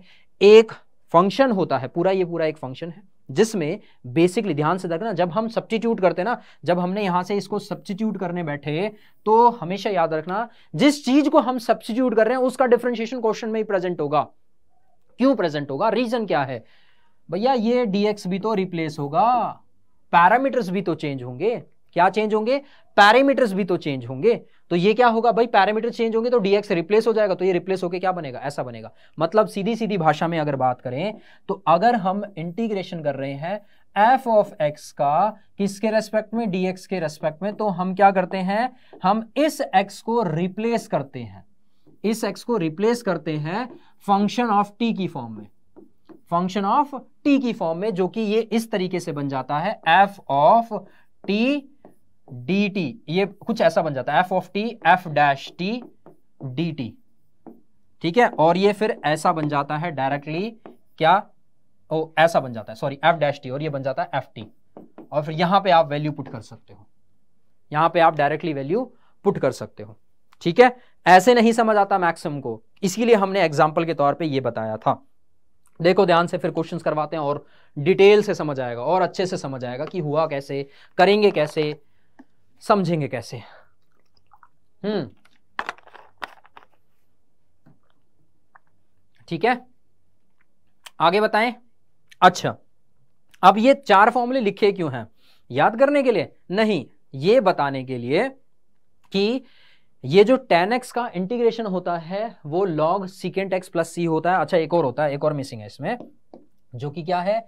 ये होता है माइनस का लॉग कॉस एक्स माइनस का लॉग कॉस एक्स प्लस में सी ये भी फॉर्मूला होता है आपका टेन एक्स का। अब ये रीजन अच्छा रीजन बता रहे थे हम। ये निकाले कैसे जाते हैं? ये सब्सटीट्यूशन मेथड से ही निकाले जाते हैं। टेन एक्स भी कॉट एक्स भी सिकेंट एक्स भी एंड कॉसिकेंट एक्स भी। ठीक है? एक तरीका बताएँगे। अच्छा नेक्स्ट पे क्वेश्चन है। एक एक सिंपल सा मेथड तरीका बता देंगे। सिंपली बता देते हैं कि होता कैसे देखो सिंपल सी बात है टेन है टेन को कैसे लिखा जाता है? टेन को लिखा जाता है sine x by cos x tan x को लिखा जाता है sine x by cos x इसी तरीके से लिखा जाता है। ठीक है? अब जैसा कि हमने बताया कि सब्सटीट्यूशन मेथड क्या करता है? फ़ंक्शन को रिप्लेस करता है। तो यहाँ जरा देखो। जैसा कि हम बता रहे थे कि सब्सटीट्यूशन मेथड में क्या होता है? जो फ़ंक्शन है, उसका डिफरेंशिएशन भी प्रेजेंट होगा। उसका डिफरेंशिएशन भी प्रेजेंट होगा। तो ये क्या हो जाता है? अगर आप थोड़ा सा ध्यान दो कि कॉस का डिफर अच्छा यहाँ पे थोड़ा सा कंफ्यूजन आपको होगी कि हम सिर्फ़ कॉस को ही टी पुट क्यों करते हैं? देखो, यहाँ मैंने क्या बोला? कॉस एक्स को टी पुट कर दिया, ठीक है? इसका डिफरेंशिएशन होगा माइनस का sine x d x is equal to d t ये माइनस है तो ये प्लस यहाँ आ जाएगा माइनस तो ये कुछ ऐसा बन जाता है इंटीग्रेशन माइनस का d t divided by t अब कुछ बच्चे ये बोलेंगे, बिल्कुल बोलेंगे, कुछ नहीं, सारे सारे बोलने चाहिए कि यहाँ कॉस को टी पुट क्यों किया? साइन को क्यों नहीं पुट किया टी? हमने बोला कि अगर इस फ़ंक्शन को थोड़ा ध्यान से देखो तो साइन एक्स न्यूमरेटर में है और जो कॉस एक्स है वो डिनोमिनेटर में है। अगर हम साइन को टी पुट करते तो साइन एक्स का डिफ्रेंशिएशन क्या होता है? कॉस एक्स होता है। कॉस एक्स न्यूमरेटर में। बट ये है डिनोमिनेटर में। अगर इसको प्रॉपर तरीके से लिखा जाए ना, ये sine x by secant x है। ये sine x by secant x है। सिकेंट एक्स का क्या करना हमें? सिकेंट एक्स का करना ही कुछ नहीं है। हमें तो इस कॉस का लेना देना है साइन का लेना देना है। ठीक है? तो अगर इसको और डिटेल से समझो तो ये ब्रेक होके, ये एक्चुअल में ये होता है। इसीलिए हमने कॉस लिया है, ठीक है? इनटू में वन बाय कॉस है ये वन बाय कॉस तो वन बाय कॉस का तो डिफ्रेंशिएशन प्रेजेंट ही नहीं है ना फ़ंक्शन में। फ़ंक्शन में तो प्रेजेंट साइन कॉस एक्स का डिफ्रेंशिएशन प्रेजेंट है, ठीक है? सिर्फ़ कॉस एक्स का डिनोमिनेटर वाला कॉस एक्स तो ये क्या बन जाएगा? ऐसा बन जाएगा माइनस का डी टी बाई टी और ये क्या बन जाएगा? ये बन जाएगा माइनस का लॉग टी पता है ना वन बाय एक्स का? और ये हो जाएगा वन बाय लॉग टी की वैल्यू कितनी है? टी की वैल्यू कॉस एक्स या तो आप इसको ऐसे बोल सकते हो, जो कि हमने ये फॉर्मूला लिखा है, या फिर इसको ऐसा बोल सकते हो कि log of cos of x की पावर माइनस वन जिसको सीकेंट एक्स बोला जाता है। कॉस की पावर माइनस वन का मतलब one by cos one by cos मतलब सीकेंट एक्स ये सारे के सारे सब्सटीट्यूशन से निकाले हुए फॉर्मूले हैं। ठीक है? अब इसको आप सॉल्व करके याद करोगे या नॉर्मली याद रख लो, वो आपकी भलाई है। देख लो आपकी किसमें ज़्यादा भलाई है। नॉर्मली याद करके रखना है या फिर सिंपली ऐसे याद रख सकते हो। देखो, याद करना भी इजी तरीका है। इजी बता भी देते हैं कैसे याद करोगे। देखो सिंपल टेन एक्स को जब हम इंटीग्रेट करेंगे तो क्या आ जाएगा? लॉग सिकेंट एक्स या फिर माइनस का लॉग कॉस एक्स कॉट को करेंगे तो क्या आएगा? भाई टेन में अगर सिकेंट आ रहा है या कॉस आ रहा है तो कॉट में क्या आ जाएगा? साइन आएगा। कॉट में क्या आएगा? साइन आ जाएगा। ये दोनों याद हो गए। अब बाकी बचा सिकेंड सिकेंड क्या होगा? सिकेंड का जब डिफ्रेंशिएशन करते हैं secant x into tan x होता है। यहाँ जब इंटीग्रेशन करेंगे तो क्या हो जाएगा? Log secant x plus tan x जो कॉसिकेंट एक्स होता है, उसमें तो माइनस लगता ही है। तो ये क्या हो जाएगा? Log cosecant x minus cot x plus c ठीक है? चलो तो ये हम क्वेश्चंस लेके आए हैं आप लोगों के लिए। बेसिकली सब्सटीट्यूशन पार्ट से सब्सटीट्यूशन मेथड से। तो सारे के सारे करवाएँगे, कुछ होमवर्क के तौर पे भी देंगे आप लोगों को। ये सारे के सारे सब्सटीट्यूशन मेथड के क्वेश्चंस हैं, सारे के सारे। अब इसमें आपको सिर्फ़ एनालाइज करना है किसको सब्सटीट्यूट करना है किसको वैल्यू निकालनी है, किसकी वैल्यू निकालनी है। ठीक है? तो पहला क्वेश्चन आपकी स्क्रीन पर ये रहा। इंटीग्रेशन ऑफ़ ये क्या है? क्वेश्चन है कि आपको इंटीग्रेट करना है one divided by x bracket log of x to the power m. और ये जो कंडीशन हमें बता रहा है ना, जो आप इसके बगल में देख रहे हैं, इंटीग्रेशन डी के रेस्पेक्ट में है, जो ये कंडीशन बता रहा है यहाँ पे कि जो x है वो ज़ीरो से बड़ा है और m ज़ीरो के बराबर नहीं है।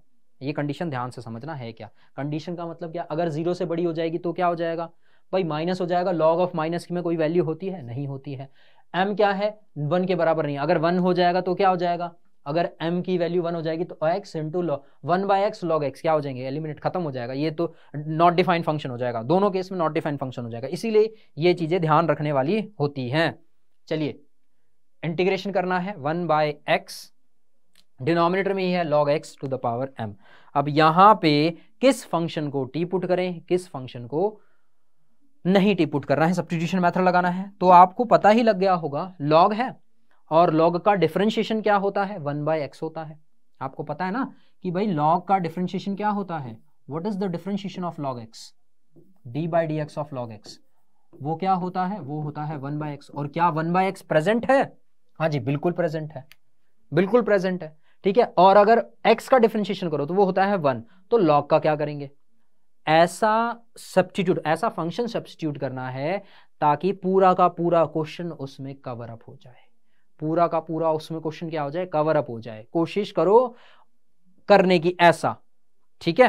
अब इसको करते हैं। चलो वैल्यू पुट करते हैं। तो हमने बोला, ये कुछ ऐसा बन जाएगा। इंटीग्रेशन ठीक है? One by t log x को क्या पुट किया है? लॉग एक्स को टी पुट किया। अच्छा नहीं पुट किया अभी पुट कर देते हैं। हमने किया है ऐसा कि log x को हमने माना है t तो वन बाय एक्स इंटू में डी एक्स, वो क्या हो गया है? वो हो गया है डी टी। वो क्या हो गया है? D t. तो यहाँ पे जो वैल्यू आई है लॉग एक्स की तो वैल्यू हमने पुट करी है टी।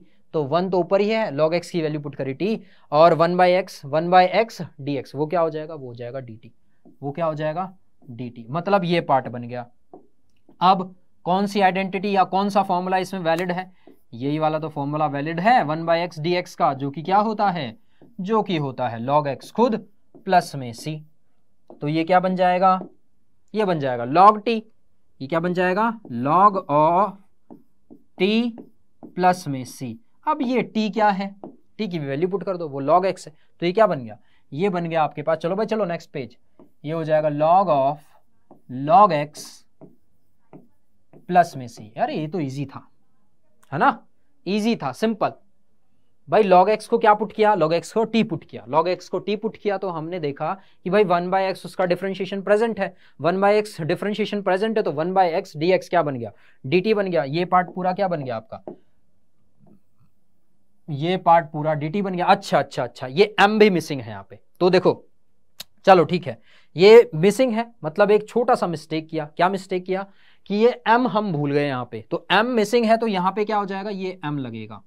ये m लगेगा। अच्छा ये होता तो ऐसा ही पूरा। अगर ये m नहीं में होता तो ये इस तरीके से होता। बट जब m गिवन है बट जब m गिवन है, तब क्या होगा? तब ये थोड़ा सा अलग बन जाएगा। कैसे अलग बन जाएगा? ये इसको लिखा जाएगा ऐसे। इंटीग्रेशन ऑफ़ टी की पावर माइनस का m डी टी क्लियर है? अब वही वाली आइडेंटिटी लगेगी। कौन सी वाली? वही जो सबकी आइडेंटिटी होती है, x की पावर n का integration with respect to x, वो होता है x की power n plus one divided by n plus one मतलब इसको हम इस तरीके से बोल सकते हैं और जब इसका इंटीग्रेशन करेंगे, ये होगा t की पावर माइनस का m प्लस का वन डिवाइडेड बाय माइनस का m प्लस का वन यही होगा। भाई एम था, ये हमसे छूट गया था, बाकी ये इस तरीके से लिखा जाएगा। इस तरीके से। भाई टी ये है टी की पावर एम नॉर्मली सब कुछ ठीक था। फॉर्मूला सिर्फ़ ये लगेगा फॉर्मूला ये लगेगा तो ये बन जाएगा और हाँ प्लस भी सी आएगा। ठीक है? तो अब इसकी जब वैल्यू पुट करेंगे तो ये क्या हो जाएगा? ये हो जाएगा लॉग ऑफ़ एक्स की टी की वैल्यू क्या है? लॉग एक्स तो ये हो जाएगा log of x to the power one minus का M divided by one minus का एम प्लस का सी वही हमें सोचे कि इतना इजी तो क्वेश्चन हमने डाला नहीं था तो इतना इजी क्वेश्चन बना कैसे? है ना? आया समझ? तो हाँ अगर यहाँ पे एम नहीं होता तो भी हमने बता दिया कि होता कैसे। अगर m नहीं होता तो कैसे करते? वो भी देख लिया आपने। अब अगर m है डिनोमिनेटर में, पावर में तो कैसे होगा? वो भी आपने देख लिया, दोनों चीज़ें देख ली। नेक्स्ट बिल्कुल। हाँ जी। अब इसमें अगर आप इस क्वेश्चन को थोड़ा ध्यान से देखो ना तो इसमें किसी का डिफ्रेंशिएशन प्रेजेंट है और ना तो किसी का कोई फ़ंक्शन ऐसा है जो हम सॉल्व कर सकते हैं। बस ये गिवन है। X to the power five d x ये चीज़ गिवन है। अब यहाँ हमें ऐसे क्वेश्चंस में थोड़ा सा क्वेश्चंस को ब्रेक करना पड़ता है। ब्रेक मतलब थोड़ा सा तोड़ना पड़ता है। अब वो देखना पड़ता है कि हम किस चीज़ को तोड़ें, किस चीज़ को ब्रेक करें। तो अगर इस क्वेश्चन में थोड़ा सा एनालाइज करें, समझें, बताएँ आपको तो ये एक्चुअल में है एक्स की पावर थ्री माइनस का one whole to the power one by three मतलब ये पूरा एक है और इसको हम छेड़ ही नहीं सकते। या तो सिंपल लेना पड़ेगा एक्स की पावर थ्री माइनस का वन अच्छा जब एक्स की पावर थ्री माइनस का वन भी लेंगे तो इसका डिफ्रेंशिएशन होता है वन का तो ज़ीरो हो जाएगा और एक्स की पावर थ्री का होगा एक्स स्क्वायर एक्स स्क्वायर है क्या? नहीं एक्स की पावर फाइव है. एक्स की पावर फाइव तो एक्स की पावर फाइव को हमने ब्रेक करा कुछ ऐसा एक्स की पावर थ्री इंटू में एक्स स्क्वायर उससे क्या होगा? भाई एक्स की पावर फाइव को एक्स की पावर थ्री इंटू एक्स की पावर टू लिखने से क्या होगा? बहुत कुछ होगा। इसका डिफ्रेंशिएशन क्या होता है? एक्स स्क्वायर होता है। एक्स स्क्वायर प्रेजेंट है। ठीक है एक्स की पावर थ्री का क्या करेंगे? इसको हम एक्स की थ्री फॉर्म में कन्वर्ट कर देंगे। कैसे? समझाते हैं। देखो, इसको हमने ऐसे लिखा इंटीग्रेशन ऑफ़ ब्रैकेट एक्स की पावर थ्री माइनस का one whole to the power one by three इसको लिखा इंटू में एक्स की पावर थ्री इंटू में एक्स स्क्वायर dx मतलब थोड़ा सा हमें अब इजी लगने लगा, इस वजह से इजी लगने लगा, क्योंकि x की पावर थ्री माइनस वन मतलब ये मैक्सिमम चांस है कि इसी को ही हम टी पुट करेंगे, क्योंकि इसके पावर है one by three one by three को सॉल्व करना इज़ नेक्स्ट टू थोड़ा सा डिफ़िकल्ट टास्क फाइव को तो फिर भी जहाँ तक है, तोड़ सकते हैं। वन बाय थ्री को कहाँ तक तोड़ोगे? है ना? तो यही रखेंगे। इतना तो कंफर्म हो गया। एक्स की पावर थ्री माइनस वन रखेंगे। बट जब इसका डिफ्रेंशिएशन करेंगे तो एक्स स्क्वायर आएगा। एक्स स्क्वायर आएगा बट एक्स स्क्वायर है नहीं। बट हाँ एक्स की पावर फाइव है। बट एक्स की पावर फाइव को हम ब्रेक कर सकते हैं इस तरीके से। तो इसको हमने ब्रेक कर दिया। उसका फ़ायदा क्या हुआ? वो भी समझाएँगे। देखो ध्यान से। देखो, हमने बोला, हमारे पास क्या क्या गिवन है? हमारे पास गिवन है कि एक्स की पावर थ्री माइनस का वन हम इसको एक फ़ंक्शन ले लेते हैं t तो x की पावर थ्री क्या बन जाएगा? x की पावर थ्री बन जाएगा t प्लस वन एक्स की पावर थ्री क्या बन जाएगा? टी प्लस वन हाँ मतलब ये टी बन गया, ये टी की पावर टी प्लस वन बन गया तो तो मतलब हाँ थोड़ा थोड़ा लग रहा है कि हाँ भाई हो सकता है। बट ये एक्स स्क्वायर का क्या करना है? और एक्स डी एक्स भी तो है। सब्सटीट्यूशन मेथड लगाना है तो चलो आओ डिफ्रेंशिएशन करते हैं। तो जब हमने इसकी डिफ्रेंशिएशन करी तो ये तो बन जाएगा थ्री इंटू एक्स की power two is equal to इसका डिफ्रेंशिएशन किया तो ये हो गया d t by d x मतलब एक्स की पावर टू इंटू में डी एक्स वो किसके बराबर है? वो है डी टी बाई थ्री के बराबर। वो किसके बराबर है? डी टी बाय थ्री के बराबर है। इतना समझ आया? भाई x की पावर थ्री माइनस वन को टी पुट किया, x की पावर थ्री क्या हो गया? t प्लस वन हो गया। ठीक है तो थ्री इसका डिफ्रेंशिएशन क्या? Differentiating with respect to x तो थ्री एक्स स्क्वायर बन गया डिफ्रेंशिएशन ऑफ़ एक्स की पावर थ्री और टी प्लस वन का डिफ्रेंशिएशन बन गया d t by d x और ये डी एक्स को मल्टीप्लाई किया तो यहाँ से मेरा इसकी वैल्यू आ गई। भाई ये मतलब इन दोनों को हम कैसे लिख सकते हैं? डी टी बाई थ्री लिख सकते हैं। और बाकी चीज़ों को, बाकी चीज़ों को लिख लो आराम आराम से, अभी समझ आ जाएगा। इंटीग्रेशन ये है पूरी की पूरी टर्म ये क्या है? टी है। इसकी पावर है वन बाई थ्री एक्स की पावर थ्री को क्या लिखा है? ऊपर, वहाँ पे। टी प्लस वन लिखा है। तो ये हो जाएगा t plus one d x की वैल्यू क्या है? एक्स स्क्वायर डी एक्स की वैल्यू क्या है? डी टी बाई थ्री तो ये हो गया डी टी बाय थ्री मतलब क्वेश्चन कुछ इस तरीके से बन गया हमारा। क्वेश्चन क्या बन गया? कुछ इस तरीके से बन गया है। ठीक है? अच्छा जब इस तरीके से बन गया है तो चलो आओ आगे सॉल्व करें। आगे जब सॉल्व करेंगे तो टी की पावर वन बाई थ्री को टी से जब मल्टीप्लाई करेंगे तो ये बन जाएगा इंटीग्रेशन ऑफ़ टी की power one by three plus three की पावर वन बाई थ्री क्या बन जाएगा? Four by three. कैसे फोर बाय थ्री? टी की power one by three into t power क्या हो जाती है? ऐड हो जाती है तो one by three plus one four by three.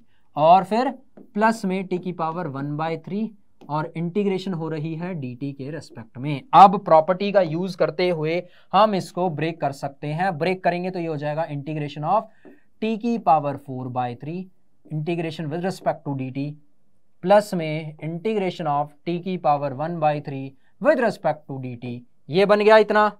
Clear आसानी से। सॉल्व भी हो सकता है। कैसे? अरे, अब तो कोई दिक्कत वाली बात ही नहीं है। इंटीग्रेशन करना है एक्स की पावर एन का। किसके रेस्पेक्ट में? एक्स के रेस्पेक्ट में। क्या बन जाएगा? एक्स की पावर एन प्लस वन बन जाएगा। किसके रेस्पेक्ट में? भाई एक्स के रेस्पेक्ट में किया तो डिनोमिनेटर में क्या आ जाएगा?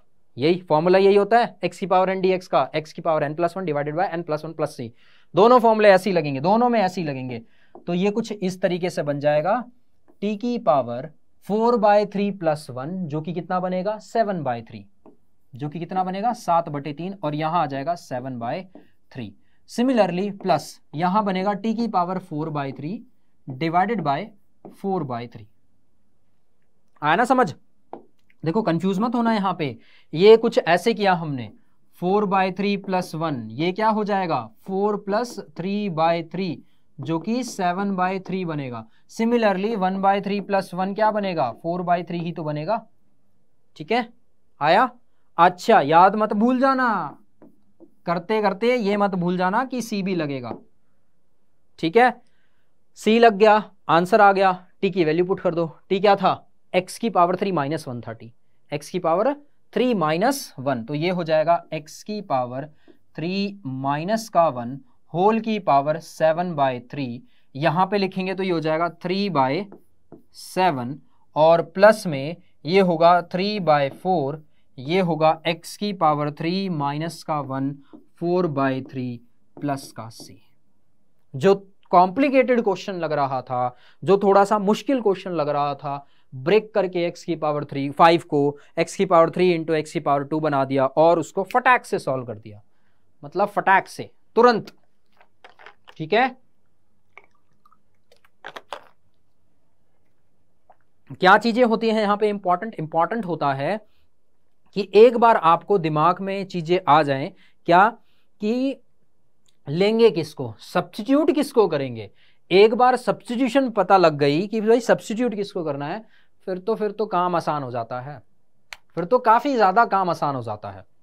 ठीक है? जैसे यहाँ पे हमें पता लग गया था कि भाई x की पावर थ्री माइनस वन को ही टी पुट करना है।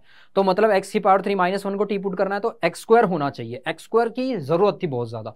तो जब एक्स स्क्वायर की ज़रूरत थी तो हमने बोला, भाई एक ही तरीका है एक्स स्क्वायर आने का कि एक्स की पावर फाइव को हम ब्रेक कर सकते हैं।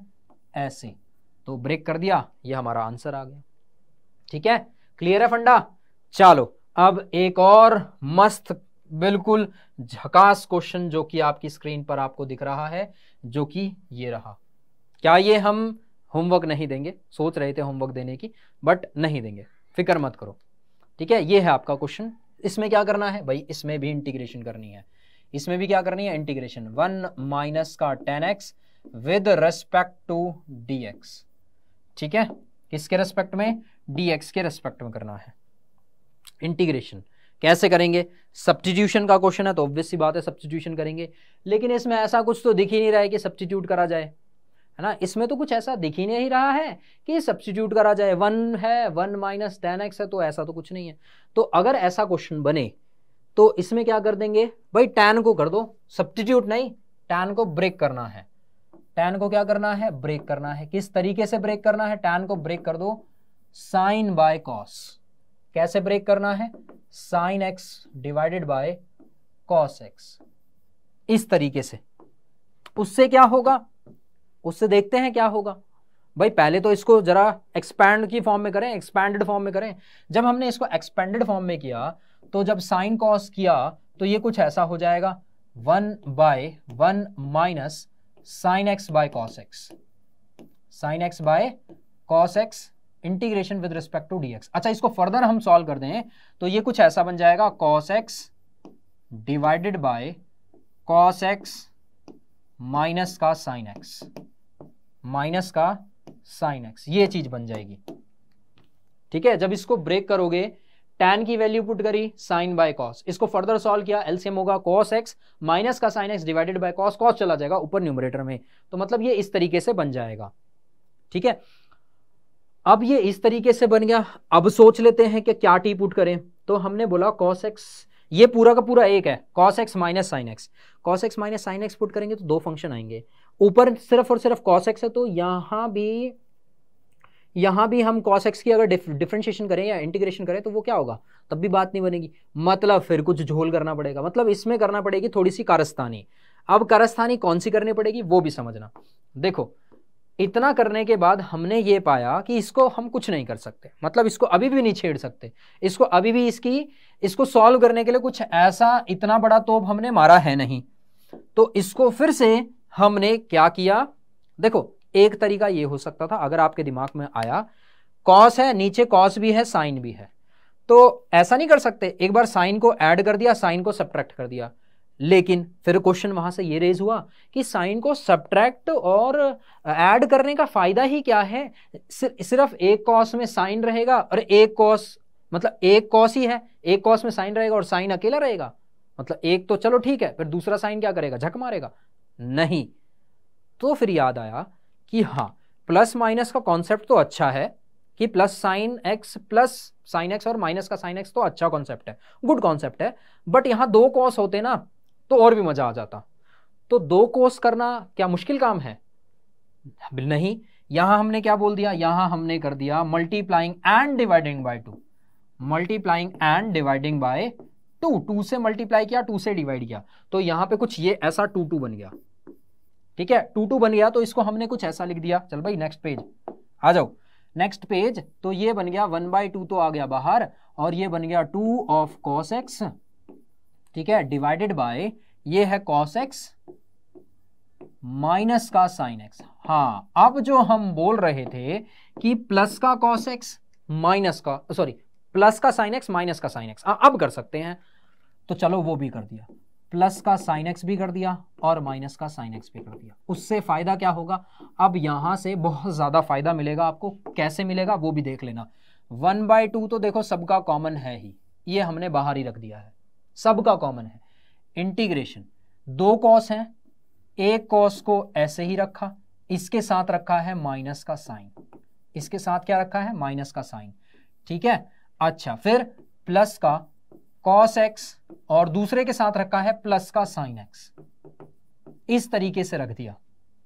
ठीक है? दो कॉस है, एक कॉस इधर, एक कॉस इधर। इसको एक साइन माइनस का यहाँ रखा है, एक प्लस का साइन इधर रखा है। और साइड बाय साइड हमने डिनोमिनेटर भी ब्रेक कर दिया है like this cos x minus का sine x and cos x minus denominator तो माइनस ही है साइन एक्स ठीक है? इतना समझ आ गए सभी को? भाई ये पूरा एक है और ये पूरा इंटीग्रेशन हो रहा है डीएक्स के रेस्पेक्ट में और ये है बाहर की तरफ़ ब्रैकेट जो कि इन दोनों टर्म्स में वन बाई टू कॉमन है।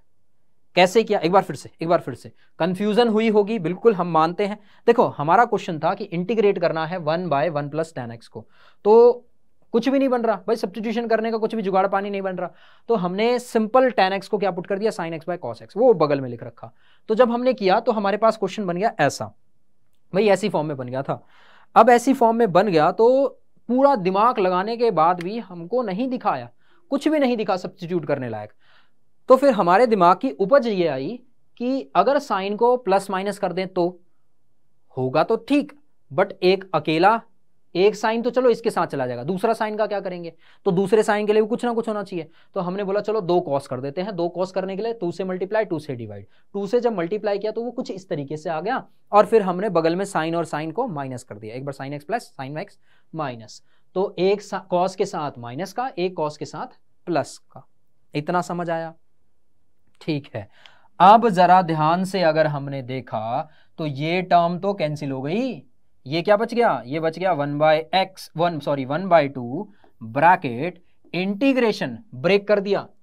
प्रॉपर्टी लगा के ब्रेक कर दिया। ये हो गया integration of d x plus में। Integration of cos x plus में sine x divided by cos x minus में साइन एक्स ठीक है? ये चीज़ आई समझ? भाई, ये वाला पार्ट क्या हो गया? ब्रेक हो गया। ये as it is at is it बच गया। तो अब आप देखो जरा ध्यान से। न्यूमरेटर का डिफरेंशिएशन सॉरी डिनोमिनेटर का डिफरेंशिएशन न्यूमरेटर में प्रेजेंट है। कैसे? या इसका इधर नहीं प्रेजेंट है? इसका, देखो, इसका अगर हम डिफरेंशिएशन करें तो ये होगा साइन एक्स नेगेटिव का कॉस एक्स पॉजिटिव का। बट अगर ध्यान दो, थोड़ा सा अगर ध्यान दें तो ये डिनोमिनेटर में है। डिनोमिनेटर वाला, हम बहुत कम चांसेस होते हैं कि पुट करते हैं, क्योंकि ये one by cos x minus sine x है। One by cos x minus sine x तो हम के क्या करते हैं मैक्सिमम टाइम डिनोमिनेटर को ही लिया जाता है तो यहाँ से हम क्या बोल सकते हैं? यहाँ से हम बोल सकते हैं कि अगर हम cos x minus sine x को टी पुट करें तो यहाँ से इसका डिफ्रेंशिएशन क्या हो जाएगा? माइनस का साइन एक्स माइनस का cos x is equal to d t by d x और अगर आप ध्यान से देखो तो ये माइनस माइनस बाहर आके पॉज माइनस बाहर बन जाएगा। मतलब ये क्या है आपका? ये है माइनस का डी ये क्या है? माइनस का डीटी ठीक है? तो ये कुछ इस तरीके से बन जाएगा आपका। सिर्फ़ ये पार्ट सॉल्व करके दिखाते हैं ये वाला। सिर्फ़ ये वाला। तो ये हो जाएगा इंटीग्रेशन माइनस बाहर लिया d t divided by t क्या हो जाएगा? ये जो पार्ट है, ये कुछ ऐसा हो जाएगा आपका। इस तरीके से। ये क्या है? न्यूमरेटर में प्रेजेंट है इनटू में dx तो क्या हो गया? dt माइनस का, उधर चला जाएगा तो ये क्या हो जाएगा? माइनस का dt बाई टी तो ये क्या आ जाएगा? माइनस का log t, और एक्चुअल में क्या बन जाएगा? Log ऑफ़ माइनस का log of bracket cos x minus sine x क्या बन जाएगा? Cos x माइनस का साइन एक्स और प्लस में सी अभी ये पूरा हुआ भी नहीं है क्वेश्चन क्यों नहीं हुआ? क्योंकि हमने सिर्फ़ ये पार्ट सॉल्व किया। अब बात करते हैं इसकी। dx का इंटीग्रेशन करेंगे तो क्या हो जाएगा? भाई x तो ये कुछ ऐसा। इसका इंटीग्रेशन किया x, यहाँ पे आ जाएगा x अब याद रखना, पूरे होल में वन बाई टू भी तो था। पूरे होल में वन बाई टू भी था। ठीक है तो इसमें क्या आ जाएगा? डिवाइडेड बाई टू और वन बाई टू प्लस में c, जो कि कांस्टेंट टर्म है। ये है आपका आंसर किसका? Integration of one by one minus tan x का। ठीक है? समझ आया? सबको अच्छे से बढ़िया तरीके से। क्लियर है फंडा? वेरी गुड चलो, आगे बढ़े। ये सब्सटीट्यूशन पार्ट है आपका। ये सब्सटीट्यूशन पार्ट है। चलो, यहाँ से देते हैं आपको एक होमवर्क एक देते हैं होमवर्क अब यहाँ से आपको क्लियरली पता लग गया होगा, भाई टैन को अगर टी पुट करेंगे तो सीकेंड स्क्वायर एक्स क्या हो जाता है? डी हो जाता है। बट यहाँ पे एक छोटा सा झोल है कि आपको टेन ऑफ़ रूट एक्स को टी पुट करना है। ठीक है? इसका डिफरेंशिएशन क्या होगा? डिफरेंशिएशन होगा सिकेंड स्क्वायर रूट एक्स होगा। अच्छा रूट एक्स का भी डिफरेंशिएशन होगा, जो कि क्या होगा? One by two root x होगा। जिससे फ़ायदा क्या मिलेगा? जिससे फ़ायदा ये मिलेगा कि इस पूरे को तो टी पुट किया जाएगा। ये भी खत्म हो जाएगा, ये भी खत्म हो जाएगा। तो ये वाला क्वेश्चन है आपका होमवर्क के तौर पे। ये वाला क्वेश्चन है आपका होमवर्क के तौर पे। एक क्वेश्चन और होमवर्क। एक है आपका बेसिक क्वेश्चन से एक है आपका सब्सटीट्यूशन से। दो क्वेश्चन दिए हैं होमवर्क के तौर पे अब तक। बेसिक्स के क्वेश्चंस निपटा दिए कुछ आपके सब्सटीट्यूशन के क्वेश्चन निपटा दिए मेथड ऑफ़ सब्सटीट्यूशन निपटा दिया फिनिश कर दिया। अब आगे बढ़ते हैं। आगे एक और ओके okay, अभी तो क्वेश्चंस हैं क्या? यस क्वेश्चंस हैं। ठीक है? एक और है क्वेश्चन आपका, ये रहा। यस बिल्कुल बिल्कुल बिल्कुल। अच्छा क्वेश्चन है ये भी। नो no डाउट ये भी बड़ा प्यारा क्वेश्चन है। ठीक है? सब्सटीट्यूशन का एक और बढ़िया क्वेश्चन है। ये भी मैथड तरीका बता देते हैं। अब इसमें भी अगर हम टी पुट करें तो टी नहीं पुट कर सकते। ये लिया इसलिए ही है। ये लिया ही क्वेश्चन इसलिए था क्योंकि इसमें भी हम क्या कर सकते हैं? थोड़ा सा हमें क्या करना पड़ेगा? थोड़ा सा एडिटिंग करनी पड़ेगी इस क्वेश्चन में। क्योंकि अगर इसका डिफ्रेंशिएशन करा जाए तो ये भी नहीं आने वाला। इसका डिफ्रेंशिएशन किया है? तो भी ये नहीं आएगा। तो इसमें सिंपल सा एक छोटा सा चीज़ क्या किया जाएगा कि आपको न्यूमरेटर को न्यूमरेटर को e की पावर एक्स से डिवाइड किया जाएगा एंड डिनोमिनेटर को भी e की पावर एक्स से डिवाइड किया जाएगा। ऐसा होगा। तब जाके ये क्वेश्चन होगा। तब जाके क्या बन जाएगा? तब जाके ये बन जाएगा इंटीग्रेशन ऑफ़ ई की पावर एक्स प्लस में ई की power minus x divided by e की पावर एक्स प्लस में अच्छा दोनों प्लस है, नहीं, ये वाला माइनस है। ये है माइनस, ये हो जाएगा, बीच वाला ये है माइनस, ये हो जाएगा ऐसा। ई की पावर एक्स माइनस का ई की power minus x divided by e की पावर एक्स प्लस में ई की पावर माइनस का डी एक्स अब आप डिनोमिनेटर को टी पुट कर दोगे तो न्यूमरेटर अपने आप टी आ जाएगा क्रॉस चेक कर लो। ठीक है, क्या किया? देखो, यहाँ जब हमने इसको एनालाइज किया इस क्वेश्चन को तो हमने पाया कि यार यहाँ डिनोमिनेटर को ना टी पुट करके न्यूमरेटर नहीं आ रहा। क्योंकि क्या बनेगा? न्यूमरेटर में वन की जगह है। अच्छा इसको ब्रेक भी कर देंगे, तब भी कोई फॉर्मूला नहीं बन रहा। ब्रेक कर देंगे, तब भी कोई फॉर्मूला नहीं बन रहा। मतलब थोड़ा सा सब्सटीट्यूशन होगा। थोड़ा सा सब्सटीट्यूशन किस चीज़ का होगा? भाई न्यूमरेटर में ई e की पावर एक्स को और डिनोमिनेटर की ई e की पावर एक्स को डिवाइड करके क्वेश्चन कुछ इस तरीके से बन जाएगा। अब जब क्वेश्चन ऐसा बन गया है तो ये है आपका फ़ंक्शन और जो न्यूमरेटर में प्रेजेंट है, वो है इसका एफ़ डैश एक्स वो इसका एफ़ डैश एक्स इसका डिफरेंशिएशन प्रेजेंट है। ई e की पावर एक्स का इंटीग्रेशन डिफरेंशिएशन करते हैं तो क्या होगा? सेम ई e की पावर माइनस एक्स का डिफरेंशिएशन करेंगे, क्या होगा? माइनस का ई e की पावर माइनस एक्स ठीक है? तो ये भी आपका होमवर्क है सिंपल सा आंसर आ जाएगा इसका लॉग की फॉर्म में, जो कि होगा क्या? ये हो जाएगा आपका लॉग ऑफ़ इसको हमने कंप्लीटली सॉल्व नहीं किया, हल्के हाथों से सॉल्व करवा रहे हैं। मतलब हल्के हाथ मतलब ऊपरी ऊपरी सॉल्व करवाया है। पूरा डी टी टी वगैरह वगैरह, ये आप लोग नॉर्मली हमें लगता है कि कर सकते हो। ठीक है? हमें लगता है कि ये आप लोग आसानी से कर सकते हो, इसलिए हमने आप लोगों के लिए रख दिया है। इसलिए हमने आप लोगों के लिए छोड़ दिया ये वाला क्वेश्चन ठीक है? कर लोगे ना? अच्छा कर लोगे ना पक्का? आगे बढ़े फिर? चलो, अब आगे सॉल्व करते हैं। इंटीग्रेशन यूजिंग ट्रिग्नोमेट्रिक आइडेंटिटीज दो तीन क्वेश्चन इसके भी करवाएँगे। देखो, है क्या? देखो, ऐसा होता है कि कुछ क्वेश्चंस ऐसे पूछ लिए जाते हैं जिसमें ट्रिग्नोमेट्रिक आइडेंटिटीज लग रही हैं। कौन सी वाली? एक आधे क्वेश्चंस लेके आएँगे। कौन सी वाली आइडेंटिटीज लगती हैं? बेसिकली जो आइडेंटिटीज आपकी लगती हैं वो इलेवंथ क्लास में आप लोगों ने ऑलरेडी पढ़ी हुई होती हैं। जैसे कि, समझाते हैं, जैसे कि आप लोगों ने पढ़ी है two cos x cos y की। Two cos x cos y integration नहीं, ये तो सिर्फ़ आइडेंटिटी है। ठीक है? Trigonometric identities. Two cos x cos y ये क्या होता था? ये होता था आपका cos x plus y minus का कॉस एक्स माइनस का वाई ठीक है? ऐसे ही एक और क्वेश्चन पूछा जा सकता है। Two sine x sine y की फॉर्म में। Two sine x sine y की फॉर्म में वो क्या होता था? वो होता था cos x minus y minus में। अच्छा ये होगा प्लस कॉस का है तो बीच में क्या होगा? प्लस का होता है। ठीक है, ये होगा माइनस का कॉस एक्स प्लस वाई ठीक है, ऐसा ही एक और पूछा जा सकता है।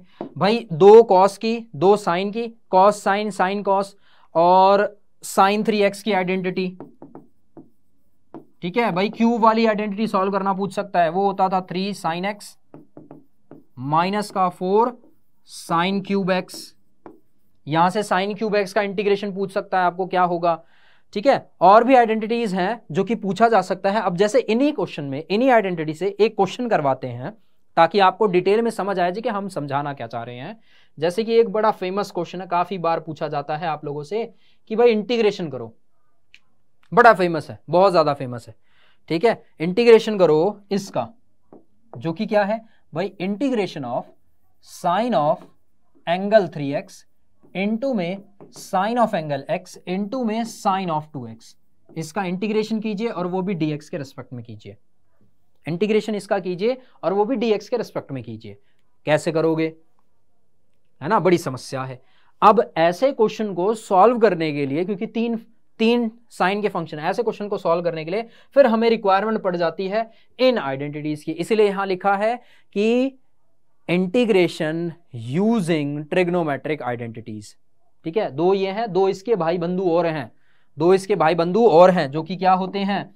जो कि आप लोगों को अगर याद हो, two sine x cos y एक और होता है, two cos x sine y ठीक है? ये दो आइडेंटिटीज हैं। ठीक है? और भी होती हैं, बहुत सारी आइडेंटिटीज हैं। अभी फ़िलहाल इतनी याद आ रही है, क्योंकि टाइम बीतता जा रहा है टॉपिक बहुत सारे हैं।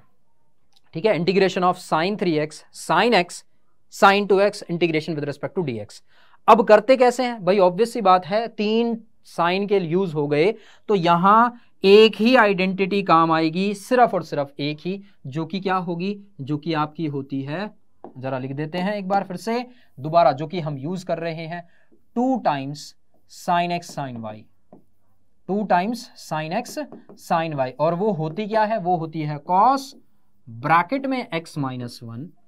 ठीक है? एंगल है cos of angle x minus y minus का cos of angle x plus y ठीक है? तो यहाँ से सिंपली क्या किया? जैसा कि हमें दिख रहा है कि भाई मल्टीप्लाई डिवाइड टू से करना पड़ेगा और हमने इन तीन को, इन दो को लिया तीन को नहीं ले सकते भाई, दो की आइडेंटिटी तो दो को लेना पड़ेगा। जब इन दो को लिया तो ये क्या ये क्या कन्वर्ट हो जाएगा? ये बन जाएगा आपका कुछ ऐसा one by two integration bracket में कॉस एक्स माइनस वाई मतलब थ्री एक्स माइनस का एक्स जो कि कितना बन जाएगा? ये बन जाएगा आपका कॉस ऑफ़ एक्स ये हो जाएगा टू एक्स माइनस का कॉस ऑफ़ फोर एक्स। ठीक है? और इनटू में sine two x integration with respect to फिर से क्या हो गया? dx के रिस्पेक्ट में हो गया। अब ये फिर से क्या है? मल्टीप्लाई है। अच्छा ये मल्टीप्लाई है तो ये इससे भी मल्टीप्लाई होगा, ये इससे भी मल्टीप्लाई होगा। दोनों से मल्टीप्लाई होने वाला है। अब जब ये दोनों से मल्टीप्लाई होगा तो ये क्या बन जाएगा? जरा देखें। क्या बन जाएगा? ये बन जाएगा वन बाई टू देखो ध्यान से। ये बन जाएगा one by two integration bracket cos two x into sine two x या simple sine two x into में कॉस टू एक्स ठीक है? माइनस का cos four x cos four x into में साइन टू एक्स कहा गया? ये बन गया इस तरीके से। अब यहाँ फिर से आइडेंटिटी यूज़ हो रही है। फिर से क्या यूज़ हो रही है? आइडेंटिटी यूज़ हो रही है। कौन सी वाली? सुनो आप ध्यान से। Two sine x sine y two sine x two sine x cos y अच्छा बेसिकली ये भी एक आइडेंटिटी होती है जो कि directly cos x cos sine two x बन जाती है। Two sine x cos x directly एक आइडेंटिटी होती है। साइन टू एक्स बन जाती है। बट एक्चुअल में ये ये वाली आइडेंटिटी को फॉलो करती है। कौन सी वाली? ये फॉलो करती है two sine x cos y वाली आइडेंटिटी को फॉलो करती है। जो कि क्या होती है? जो कि होती है sine bracket x plus y minus का। अच्छा कॉस है? एक्स माइनस वाई ठीक है? ये इस वाली आइडेंटिटी को फॉलो करती है जो कि कैंसिल आउट हो जाता है आपका।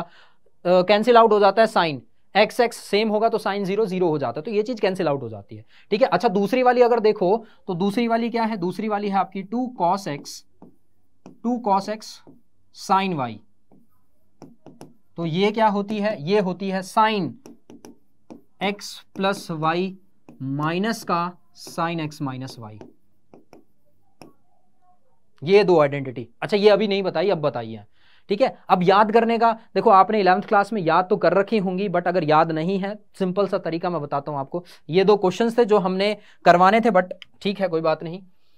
ठीक है, ये क्या है? अगर दो कॉस के हैं तो दोनों दोनों कॉस के होंगे। अगर दोनों साइन के हैं, तब भी दोनों कॉस के होंगे। बट अगर कॉस या साइन या साइन या कॉस हैं, तब आइडेंटिटी कौन सी लग जाएगी? कॉस या साइन है। साइन या कॉस है तो क्या लगेगी? साइन साइन ही लगेगी। तो ये जो क्वेश्चन कन्वर्ट हो जाएगा वन बाई टू को मल्टीप्लाई करने के बाद, अब इसमें क्या करना पड़ेगा? भाई, जब हमें कन्वर्ट करना पड़ेगा, इसको कन्वर्ट करना पड़ेगा। भाई, इन आइडेंटिटी को सॉल्व करने के लिए इनको कन्वर्ट करना पड़ेगा। ये है sine two x cos two x but formula क्या है? Two sine x cos y या फिर two sine x cos x वो क्या होता है? साइन टू एक्स टू से मल्टीप्लाई तो यहाँ से फिर से multiply by two divided by two जो कि क्या बन जाएगा? इसको अगर आप देखो तो one by four integration bracket two sine of angle two x cos of angle two x ठीक है? उसके बाद माइनस का two of cos four x sine two x into में डी एक्स इतना समझ आया? सभी को क्लियर तरीके से ठीक है। अब क्या लगाएँगे? भाई ट्रिग्नोमेट्रिक आइडेंटिटी ये बन जाएगा वन बाय फोर अभी इंटीग्रेशन सॉल्व ही नहीं किया। अभी सिर्फ़ आइडेंटिटी सॉल्व कर रहे हैं। ये तो हो जाएगा सीधा सीधा साइन फोर एक्स सीधा सीधा क्या हो जाएगा? साइन फोर एक्स क्यों? आइडेंटिटी क्या होती है? Two sine x cos x क्या होता है? साइन टू एक्स एंगल अगर टू एक्स हो तो ये भी एंगल क्या हो जाएगा? ट्वाइस हो जाएगा। तो ये क्या बन गया? फोर एक्स ऐसे ही माइनस का। ये बीच में क्या है? माइनस का है। ये क्या है? बीच में माइनस का साइन आया। तो माइनस का ऐसे ही रख के यहाँ पे फर्दर इसको सॉल्व करेंगे। Two cos sine two cos x sine y two cos x sine y कहाँ है? Two cos x sine y ये रहा। Sine x plus y minus का साइन एक्स माइनस वाई तो ये बन जाएगा साइन एक्स प्लस वाई मतलब सिक्स एक्स माइनस का साइन एक्स माइनस वाई मतलब का टू एक्स ठीक है? और ये बन जाएगा इस तरीके से। इसको फर्दर आप सॉल्व कर दो, फिर उसके बाद काम सिंपल बन गया। One by four integration of sine of angle four x plus का sine two x and minus of sine six x integration किसके रेस्पेक्ट में? Dx के रेस्पेक्ट में। अब इसको सॉल्व करना नेक्स्ट टू पॉसिबल काम है। इसको आप नॉर्मली अब आप सॉल्व कर सकते हो। ठीक है? ये क्या हो जाएगा? भाई integration of sine a x का फॉर्मूला लगेगा अब तो। जो कि क्या हो जाता है? माइनस का cos a x divided by a plus c हो जाता है। याद है? ठीक है? साइन ए एक्स का इंटीग्रेशन का फॉर्मूला लग जाएगा, जो कि ये बन जाता है। आप नॉर्मली आप फॉर्मूला यूज़ कर सकते हो इसमें। इंपॉर्टेंट चीज़ क्या है? ध्यान से सुनना आप। काम की चीज़ें क्या क्या है यहाँ पे? देखो क्वेश्चन था कि आपको इंटीग्रेट करना था sine x sine two x sine three x जो आपके दिमाग में क्वेश्चन रेज हुए होंगे ना, पहला क्वेश्चन कि साइन थ्री एक्स और एक्स को एक साथ क्यों रखा? दूसरा क्वेश्चन यही आइडेंटिटी क्यों लगाई? क्यों नहीं और दूसरी लगा सकते थे? पहले क्वेश्चन का जवाब देते हैं। पहला क्वेश्चन कि भाई साइन थ्री एक्स और एक्स को क्यों रखा? देखो, कभी भी अगर ऐसा क्वेश्चन आते हैं कि साइन की तीन टर्म्स या चार टर्म्स या कॉस की तीन या चार टर्म्स तो हमेशा पहला चीज़ होता है कि सबसे लीस्ट और सबसे हाइएस्ट जो एंगल है उनको साथ रखो। होता क्या है? रीजन ये होता है, क्योंकि जो लीस्ट और हाईएस्ट को जब हम लेते हैं ना तो ये जो बीच में होता है मिडल वाला होता है, वो कॉमन आउट आने के चांसेस होते हैं। कॉमन आउट होने के चांसेस या फिर इजी होने के चांसेस होते हैं, जो कि हुआ भी हमारे साथ। हमने क्या किया, जब थ्री एक्स और एक्स को साथ रखा आइडेंटिटी लगाई तो हमारे पास क्या बन गया? कॉस टू एक्स बन गया कॉस फोर एक्स बन गया और साइन टू एक्स बन गया। अब यहाँ पे टू एक्स और कॉस टू एक्स एक बढ़िया आइडेंटिटी बना देते हैं cos sine two x two sine x cos x की, जो कि साइन टू एक्स बन जाती है। नॉर्मली फिर इसको सॉल्व किया तो फिर तो ये रहा आपके सामने। ठीक है? फिर इंटीग्रेशन करना है इसके बाद तो आ, मेरे ख्याल से सभी बच्चे कर पाएँगे आसानी से। ये तो फिर इजी काम है। यहाँ से आप लोग खुद सॉल्व कर सकते हो। ये फिर इजी काम बन जाता है। यहाँ से क्वेश्चन मार्क है। ये आपका काम है। ठीक है? Simple integration of sine a x क्या हो जाता है? साइन ए एक्स क्या हो जाएगा? साइन ऑफ़ फोर एक्स क्या हो जाएगा? ये हो जाएगा माइनस का cos four x divided by four ये हो जाएगा cos two x by two minus का। ये बन जाएगा प्लस का, माइनस माइनस प्लस का। ठीक है? अब बात करते हैं नेक्स्ट टॉपिक की। हाँ जी, okay okay, yes yes yes yes yes. Yes, एक और क्वेश्चन है। ये भी है। चलो, ये ट्रिग्नोमेट्रिक आइडेंटिटीज का लास्ट क्वेश्चन है। फिर उसके बाद हम किस पे जाएँगे? सम स्पेसिफिक एंगल्स पे जाएँगे। सम स्पेसिफिक एंगल्स पे जाने की कोशिश करेंगे, क्योंकि टाइम थोड़ा सा हम्म ठीक है? चलो देखो, अब यहाँ पे क्या यूज़ करना है? देखो क्वेश्चन है आपका इंटीग्रेशन ऑफ़ वन माइनस का कॉस एक्स ठीक है? डिवाइडेड बाय वन प्लस का कॉस एक्स बच्चों, ये वाला क्वेश्चन जो है ना, वो आपने डिफ्रेंशिएशन में भी करा है। अच्छा ये लाने का, इस क्वेश्चन को रखने का ही मतलब यही है कि ये पर्टिकुलर क्वेश्चन सिर्फ़ अकेला इसी टाइप का आपने सेकेंड चैप्टर जो कि आपका इनवर्स टिग्नोमेट्री है, वहाँ भी पढ़ा है। डिफ्रेंशिएशन वहाँ भी पढ़ा है। अब लो इंटीग्रेशन वहाँ भी आ गया।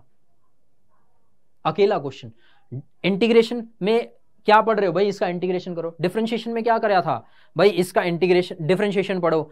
वैसे वहाँ क्या था? वहाँ ये क्वेश्चन कुछ इस फॉर्म में था। ऐसे नहीं था। ये थोड़ा सा मॉडिफाइड फॉर्म में था।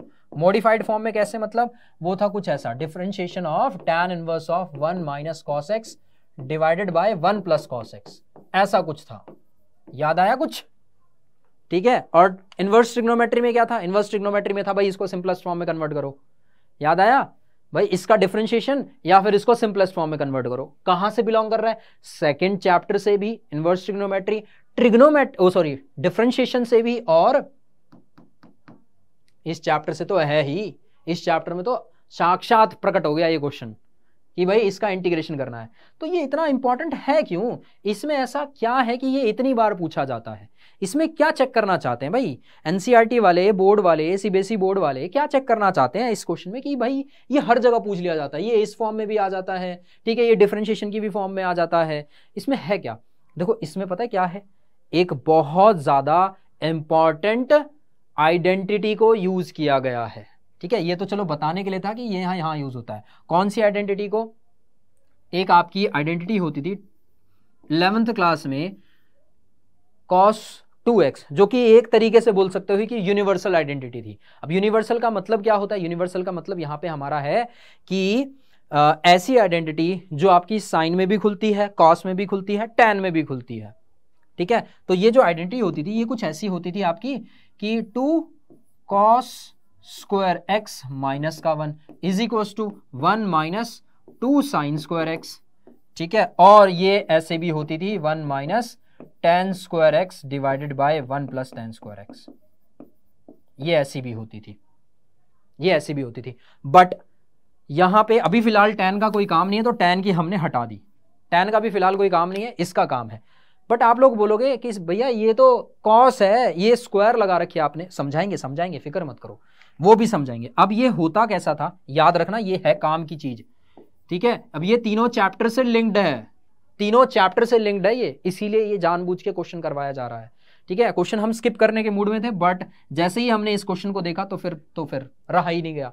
ठीक है? अब यहाँ पे ये ऐसा होता है कि जो कॉस टू एक्स प्लस में वन होता है, उसको हम लिख सकते हैं किस तरीके से? कॉस स्क्वायर एक्स से। Cos two x plus one को कैसे लिख सकते हैं? कॉस स्क्वायर एक्स से। ठीक है? Similarly similarly one minus cos two x को कैसे लिखा जा सकता है? One minus cos two x को लिखा जाता है साइन स्क्वायर एक्स से। कैसे लिखा जाता है? साइन स्क्वायर एक्स से लिखा जाता है। ठीक है? लेकिन इसका फ़ायदा क्या है? फ़ायदा अब पता लगेगा आपको। देखो, आप देखना ध्यान से, जो चीज़ हम बता रहे हैं इंपॉर्टेंट जैसा कि अभी हमें, हमने बताया कि साइन स्क्वायर एक्स को या टू साइन स्क्वायर एक्स को कैसे लिखा जाता है? One minus cos two x की फॉर्म में लिखा जाता है। तो सिर्फ़ और सिर्फ़ साइन एक्स को, sine square x by two को, इसको कैसे लिखा जाएगा? इसको लिखा जाएगा वन माइनस कॉस एक्स से। अब याद आया? अब याद आया क्यों है इंपॉर्टेंट मतलब वन माइनस कॉस एक्स को डायरेक्टली हम लिख सकते हैं two sine square x by two. Similarly similarly यहाँ पे जैसा कि हमने बोला कि टू कॉस स्क्वायर एक्स किस तरीके से लिखा जाता है? One plus cos two x लिखा जा सकता है। तो यहाँ से हम ये भी बोल सकते हैं कि two cos square x by 2 can be written as 1 plus cos x कैसे लिखा जाता है? ऐसे लिखा जा सकता है। अब आपको मेरे ख्याल से समझ आ गया होगा कि इन आइडेंटिटी का यूज़ क्या है? इन आइडेंटिटी को यूज़ क्यों करवा रहे हैं? डायरेक्ट है डायरेक्ट, बिल्कुल डायरेक्ट।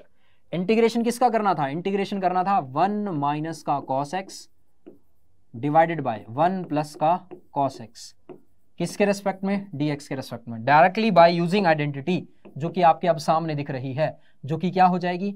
ये हो जाएगी two sine square x by two divided by two cos square x by two integration with respect to d integration कर देंगे टू से टू कैंसिल आउट हो गया तो ये क्या बच जाएगा? ये बच जाएगा integration of tan square x by two d x और अभी अभी मेरे ख्याल से हमने टेन स्क्वायर का डायरेक्ट फॉर्मूला नहीं होता है है ना? डायरेक्ट फॉर्मूला टेन का नहीं होता है बट यस हमने ये पढ़ा है we can write tan square theta as secant square theta minus का वन सिमिलरली यहाँ पे हमने यूज़ किया और आंसर आ गया हमारा। ये क्या हो जाएगा? ये हो जाएगा integration of secant square x by two minus का one integration with respect to d x और इसका डायरेक्ट आंसर क्या आ गया?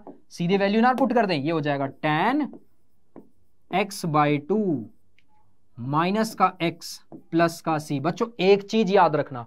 क्या डिफरेंशिएशन ऑफ़ एंगल भी होगा? साइन ए एक्स वाला फॉर्मूला भूले तो नहीं? Integration of sine a x यहाँ पे वन बाई टू भी आएगा। यहाँ पे वन बाई टू भी आएगा। वन बाई टू यहाँ आएगा टू ऊपर मल्टीप्लाई हो जाएगा तो इसका आंसर क्या हो जाएगा? ये हो जाएगा कुछ ऐसा। Two times of ten of angle x by two कहा गया? माइनस का एक्स प्लस सी माइनस का एक्स प्लस का सी ठीक है? इसकी स्टैंडर्ड फॉर्म इसको हम किस तरीके से लिख सकते हैं? इट इस पूरे को हम लिख सकते हैं इस फॉर्म में। फिर इसको आप इंटीग्रेट कर दो। इसको लिख सकते हैं इस फॉर्म में डायरेक्टली, ठीक है? अब अगर इनवर्स ट्रिग्नोमेट्री में पूछा जाए या फिर डिफरेंशिएशन में पूछा जाए, आपको सिर्फ़ कैसे लिख देना? Tan square x by two खत्म कहानी। ठीक है? आई क्लियर बात हुई? समझ आई? कि क्यों पूछा जाता है बार बार क्योंकि यहाँ पे यूनिवर्सल आइडेंटिटी पूछ रहा है कॉस टू एक्स की। यूनिवर्सल आपको ये पता है तो फिर आप इस क्वेश्चन को सॉल्व कर सकते हो। अगर नहीं पता है, फिर तो अटक जाओगे। अगर नहीं पता है, फिर तो फिर फिर उस केस में कुछ हो ही नहीं सकता है। फिर उस केस में कुछ नहीं हो सकता है। फिर तो गई भैंस पानी में। फिर गई भैंस पानी में। ठीक है? चलिए, अब बात करते हैं। अब जब हम स्टार्टिंग में बता रहे थे आपको कि आपके सिलेबस में क्या है? याद है, कुछ हम बता रहे थे कि भाई one by one plus x square का इंटीग्रेशन क्या है? ये होता है टैन इनवर्स एक्स स्टार्टिंग में बेसिक में गिवन था और साइन इनवर्स एक्स भी गिवन था। बता रहे थे कि भाई ये है आपके सिलेबस में, ये है आपके सिलेबस में, ये है आपके सिलेबस में। अब देख लो सिलेबस आपका। Some specific function integration of some specific function जहाँ पे ये टोटल छह होते हैं, तीन और इनके भाई बंधु होते हैं जो न्यूमरेटर में होते हैं। टोटल छह होते हैं, सारे के सारे इंपॉर्टेंट होते हैं। अब जिनमें से ये जो साइड में यहाँ दिख रहे हैं ना, ये ज़्यादा इंपॉर्टेंट होते हैं। ये क्या होते हैं? थोड़ा ज़्यादा इंपॉर्टेंट होते हैं। इनके चांसेस होते हैं कि मैक्सिमम बार ये पूछे जाते हैं। मैक्सिमम टाइम ये पूछे जाए। ठीक है? अब इसमें लगेंगे यही वाली आइडेंटिटी अगर कोई भी function d x by x square minus a x x square minus a square की फॉर्म में होगा तो ये वाली फॉर्मूला ये वाला फॉर्मूला लगेगा। अगर इस फॉर्म में होगा तो ये वाला फॉर्मूला लगेगा। फटाफट देख लो क्या है भाई। फटाफट देख लो कि है क्या। दो क्वेश्चंस करवाएँगे इनके बेसिस पे, फिर समाप्त करेंगे आज का लेक्चर इसी बेसिस पे। ठीक है? Integration of d x by x square minus a square integration of d x by a square minus x square integration of d x by x square plus a square and इनके roots denominator वाले। छह तो ये होते हैं और छह इनके भाई बंधु होते हैं, जो कि फिर न्यूमरेटर में होते हैं। ठीक है? इनमें से भी सबसे ज़्यादा यूज़ करा, घिसा जाने वाला क्वेश्चन घिसे जाने वाला आइडेंटिटी ये होता है, तीसरा वाला। ये पता कहाँ यूज़ होता है? ये एप्लीकेशन ऑफ़ इंटीग्रेशन में यूज़ होता है। एरिया ऑफ़ सर्कल फाइंड करने के लिए। है ना? एरिया ऑफ़ इंटीग्रेशन में ये वाला फॉर्मूला बहुत ज़्यादा यूज़ होता है, बहुत बार बहुत बार। एरिया ऑफ़ सर्कल फाइंड करने के लिए एरिया ऑफ़ पैरलो पैरलोग्राम नहीं एरिया ऑफ़ एलिप्स फाइंड करने के लिए। ठीक है? ये वाला बहुत ज़्यादा यूज़ होता है। तो लगा लो ये वाला ज़्यादा इंपॉर्टेंट है। देखो, हम ये नहीं बोल रहे कि कोई, ये कम इंपॉर्टेंट है, सारे इंपॉर्टेंट है बट उन इंपॉर्टेंट में से ये इंपॉर्टेंट है, इन तीन में से ये ज़्यादा इंपॉर्टेंट है, इन छह में से ये ज़्यादा दो इंपॉर्टेंट है। ठीक है? बाकी याद तो सभी करना है। ठीक है? अब ज़रूरी नहीं है कि हमने बोला यही इंपॉर्टेंट है तो यही करके जाओ। हो सकता है क्वेश्चन यहाँ से आ जाए, है ना? एग्जामिनर का भरोसा थोड़ी सीबीएसई बोर्ड का भरोसा थोड़ी कि जो हम बोल रहे हैं वही डाले। बट चांसेस होते हैं मैक्सिमम चांसेस होते हैं मैक्सिमम प्रोबेबिलिटी होती है। एट्टी ट्वेंटी का रेशियो होता है। मतलब एट्टी ट्वेंटी का रेशियो होता है एटी परसेंट चांसेस होते हैं, इन दोनों से आएँगे, बाकी ट्वेंटी परसेंट चांसेस होते हैं, यहाँ से आएँगे। ठीक है? और यहाँ पे तो लगा लो आपको अगर a integration application of integration पढ़ोगे जब एप्लीकेशन ऑफ़ इंटीग्रेशन पढ़ोगे तो ये तो फिर आपको वैसे ही पता लग जाएगा हाँ भाई हाँ यही तो फॉर्मूला है। ये तो मतलब मान के चलो ये तो है कन्फर्म ये तो कन्फर्म है। ये तो कन्फर्म अगर आप इलिप्स निकाल रहे हो या सर्कल का एरिया निकाल रहे हो कन्फर्म ठीक है? चलो, एक क्वेश्चन करवाते हैं, एक क्वेश्चन करवाते हैं इसके बेसिस पे। देखते हैं कितने बच्चे अटेंटिव बैठे हैं। एक, ये रहा, दो पार्ट्स हैं, दोनों पार्ट्स करवाएँगे, ठीक है? दोनों पार्ट्स करवाएँगे, एक है नॉर्मल और दूसरा जो है वो रूट में है। दूसरा क्या है? रूट में है। दोनों क्वेश्चन करवाएँगे। ध्यान से देखना। तो जो पहला क्वेश्चन है वो क्या है? वो है integration of d x divided by x square minus का 16 16 कैन बी रिटर्न एज 4 का स्क्वायर ठीक है? ये है। अब आइडेंटिटी इंपॉर्टेंट क्या है? आइडेंटिटी इंपॉर्टेंट है। कौन सी वाली? इसमें क्या लग रहा है? A square minus x square कौन सा लग रहा है? A square minus x square कहाँ है a square minus x square ये रही बगल में। यही है। लगाओ भाई one by two a log bracket a plus x divided by a minus x ये हम साइड बाय साइड लिखते चलेंगे क्वेश्चन में, ताकि आपको याद रहे, यहाँ नीचे लिख देते हैं। यहाँ नीचे लिख देते हैं। आ जाओ भाई। लिखी जाती है आपकी आइडेंटिटी ये है इंटीग्रेशन ये है integration of d x divided by अच्छा x square sorry x square minus a square है। X square minus a square और x square minus a square क्या होती है? वो होती है आपकी one by two a log of log of x minus का a divided by x plus का ए प्लस का सी यही है? लगाओ ए को क्या है? डी क्या, ओ सॉरी ए क्या है? एक्स क्या है? फॉर्मूला लगाओ, खत्म कहानी। ये था x square minus a square sorry x square minus a square ये वाली। सॉरी सॉरी सॉरी सॉरी ये वाली है, ये वाली। है ना? थोड़ा सा गलतियाँ ज़्यादा हो रही हैं शायद आज। X square minus a square ये वाली आइडेंटिटी लगाई है। One by two a log bracket x minus a divided by x plus a plus c ठीक है? सीधी सीधी आइडेंटिटी लगेगी, सीधा सीधा फॉर्मुला लगेगा आंसर आ जाएगा। ठीक है? अब यहाँ पे अगर आप ध्यान दो तो ए की वैल्यू क्या है? ए है आपका फोर के बराबर। और ये आइडेंटिटी अगर लगाई जाए तो ये क्या बन जाएगा? ये बन जाएगा वन बाय ए ए कितना है? ए है फोर तो ये बन जाएगा one by eight log bracket x minus का four divided by x plus का फोर प्लस का सी लो, खत्म. ये आइडेंटिटी है. ए की वैल्यू क्या है? फोर फोर की वैल्यू पुट करनी है. बाकी पूरा आंसर आ गया. अच्छा इतना इजी आता नहीं है। अगर इतना इजी आएगा वो एक मार्क्स में आएगा। बस ये सिर्फ़ अभी समझाने के लिए कि इस तरीके के क्वेश्चंस होते हैं। इस तरीके के क्वेश्चंस होते हैं, करने कैसे हैं। ठीक है? ये था फ़र्स्ट पार्ट और अब बात करते हैं इसके सेकंड पार्ट की। सेकंड पार्ट है रूट में। सेकंड पार्ट क्या है? रूट में जो कि है इंटीग्रेशन ऑफ़ दिस अब यहाँ पे अगर आप रूट को सर्च करो तो ये है टू एक्स माइनस का एक्स स्क्वायर ये क्या है? टू एक्स माइनस का एक्स स्क्वायर याद रखना कोई भी अगर आइडेंटिटी है, अगर एक्स स्क्वायर माइनस का है तो कोशिश करो उसको पॉजिटिव के बनाने की। अब यहाँ कांस्टेंट टर्म है ही नहीं। यहाँ क्या है? कांस्टेंट टर्म है ही नहीं तो मतलब कांस्टेंट टर्म को ऐड करना पड़ेगा। तो मतलब plus one and minus one को हमने ऐड किया। पता कैसे लगा वन आएगा? भाई पता कैसे लगा वन आएगा? सबसे पहले एक्स का कोफिशियंट उठाया, जो कि है टू उसको मल्टीप्लाई किया वन बाय टू से। कितना आ गया? वन अब इसका स्क्वायर कर दिया। स्क्वेयरिंग बोथ साइड ये होगा वन अब इसको करना है एड एंड सब्ट्रैक्ट इसको करना है एड एंड सब्ट्रैक्ट स्टेप्स भी लिख देते हैं. पहला coefficient of x coefficient of x फिर क्या करना है? दूसरा step divide by two two से डिवाइड करने के बाद टू से डिवाइड करने के बाद जो बना स्क्वायर कर दो उसको.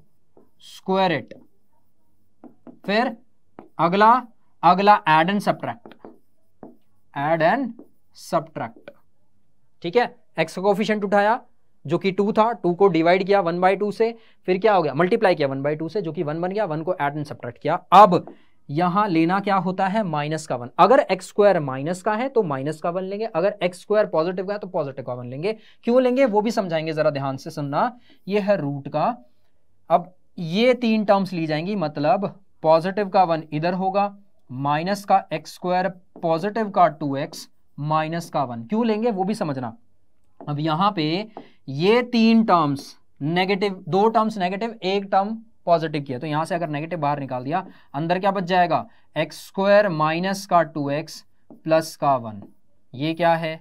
रूट। अगर इसको फर्दर आप सॉल्व करो तो ये क्या बन जाएगा? ये बन जाएगा square root of one minus का एक्स माइनस वन का होल स्क्वायर।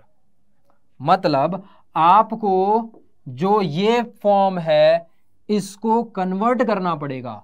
अगर एक्स स्क्वायर माइनस का है तो मान के चलो ये फॉर्म बनेगी आपकी ये वाली। One by square root of a square minus x square ठीक है? अब अगर एक्स की टर्म आ गई है, सिर्फ़ एक्स एक्स स्क्वायर नहीं, सिर्फ़ एक्स की टर्म आ गई है तो यहाँ पे एक्स माइनस वन का होल स्क्वायर होना लाजमी है। मतलब एक्स माइनस समथिंग का होना कंपल्सरी फिर तो ये हो ही जाएगा अपने आप। ठीक है? एक बार फिर से फिर से फिर से सुनो। देखो, किया क्या? क्वेश्चन था आपका integration of d x divided by square root of two x minus x square ठीक है? हमारे पास जो आइडेंटिटी है, हमारे पास जो फॉर्मूले हैं, उसमें एक्स कहीं भी नहीं आता। फॉर्मूले जो हैं, वो देख लो, यही है। भाई, यहाँ एक्स स्क्वायर है, यहाँ एक्स स्क्वायर है, हर जगह। उसके बाद बेशक एक्स बने, वो अलग बात है बट यहाँ क्या बन रहा है? भाई एक्स स्क्वायर बन रहा है। अब क्वेश्चन में सिर्फ़ और सिर्फ़ एक्स है एक्स स्क्वायर और एक्स दोनों है। तो हमने देखा भाई यहाँ से एक्स स्क्वायर भी है टू एक्स भी है। तो वैसे तो आप लोगों को क्लिक कर गया होगा कि प्लस वन माइनस वन करेंगे तो x square x minus one का होल स्क्वायर ये वाली आइडेंटिटी बन जाएगी। बट एक्स स्क्वायर अगर नेगेटिव का है तो माइनस का वन इसके साथ जाएगा। तो ये एक्चुअल में ये बनेगा। तो ये जो क्वेश्चन बन जाएगा, ये क्वेश्चन इस फॉर्म में कन्वर्ट हो जाएगा। ये क्वेश्चन में कन्वर्ट हो जाएगा integration d x divided by square root of ये हो जाएगा आपका one minus bracket x minus one का होल स्क्वायर अब इसमें कौन सी आइडेंटिटी लगेगी? A square minus x square square root of a square minus x square जो कि क्या होता है? ये होता है आपका integration d x divided by square root of a square minus x square याद है क्या था? साइन की फॉर्म में था, जैसा कि हमने बताया था। ये था d x by square root of a square minus x square is equal to sine inverse x by a simple x by a अब यहाँ साइन तो क्या बन जाएगा? Sine inverse x by a ये फॉर्मूला बन जाएगा। इस तरीके से sine inverse x by a plus में सी तो ये जो कन्वर्ट हो जाएगा, ये होगा कुछ ऐसा। साइन इनवर्स, और x की जगह ये पूरी की पूरी टर्म आएगी, x minus one divided by one plus में c ये होगा इस तरीके से। ठीक है? आई चीज़ें समझ में? इंपॉर्टेंट ये चांसेस होते हैं। अच्छा ये क्वेश्चन जो आता है ना, वो एक मार्क्स में ही आता है। इस आइडेंटिटी से अगर नॉर्मल इजी क्वेश्चन आएगा तो सिंपल सा क्वेश्चन आएगा, हल्का फुल्का क्वेश्चन आएगा तो वो एक मार्क्स में ही कंसिडर किया जाएगा। जो हैवी क्वेश्चंस हैं, वो अभी नहीं, बाद में करवाएँगे इनके, ठीक है? जब प्रॉपर्टीज़ के बाद करवाएँगे ना some properties of definite integrals करवाएँगे, उसके बाद छह छह मार्क्स के छह नहीं तीन तीन चार चार मार्क्स के जो क्वेश्चन आते हैं, वो करवाएँगे, ठीक है? और पाँच मार्क्स के, चार मार्क्स का तो केस स्टडी होता है आपका। ठीक है? सभी को समझ आया? चलिए चलिए। चलो अब रैप अप करने का टाइम आया है। ठीक है? बट उससे पहले कुछ एक आधे ऑब्जेक्टिव टाइप क्वेश्चंस करवाने बहुत ज़्यादा ज़रूरी हो जाते हैं। क्योंकि आज का आ, मतलब बोर्ड का पैटर्न कुछ इस तरीके से बन चुका है कि 20 ऑब्जेक्टिव टाइप क्वेश्चंस आते ही आते हैं। और हाँ इंटीग्रेशन से दो क्वेश्चंस तो बनते ही बनते हैं। तो हर एक टॉपिक से objective questions objective type question multiple choice questions बन ही सकता है, बड़े प्यार से, बड़े आसानी से बन सकता है।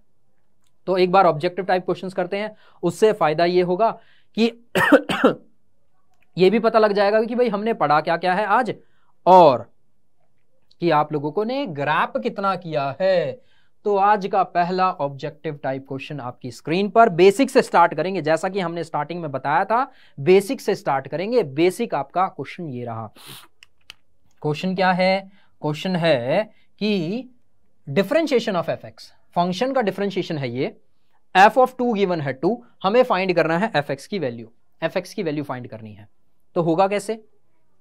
कंफ्यूज होने की ज़रूरत नहीं है। जैसा कि हमने बताया कि भाई डिफरेंशिएशन ये है फ़ंक्शन का तो भाई d by d x of f x है ना, वो ये आ ही चुका है हमारे पास जो कि है फोर एक्स की पावर थ्री माइनस में थ्री एक्स की पावर कितना है? फोर है।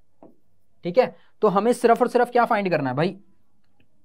एफ़ एक्स फाइंड करना है। तो सिंपल सा, अगर यहाँ हम इंटीग्रेशन लगा दें सिमिलर सॉरी यहाँ इंटीग्रेशन लगा दें तो भाई इंटीग्रेशन और डिफरेंशिएशन आपस में क्या होते हैं? एक दूसरे के इनवर्स होते हैं।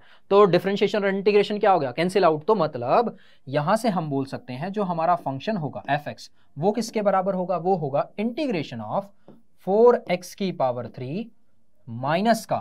थ्री एक्स की पावर माइनस फोर लिख सकते हैं क्या इसको हम? अजी बिल्कुल लिख सकते हैं।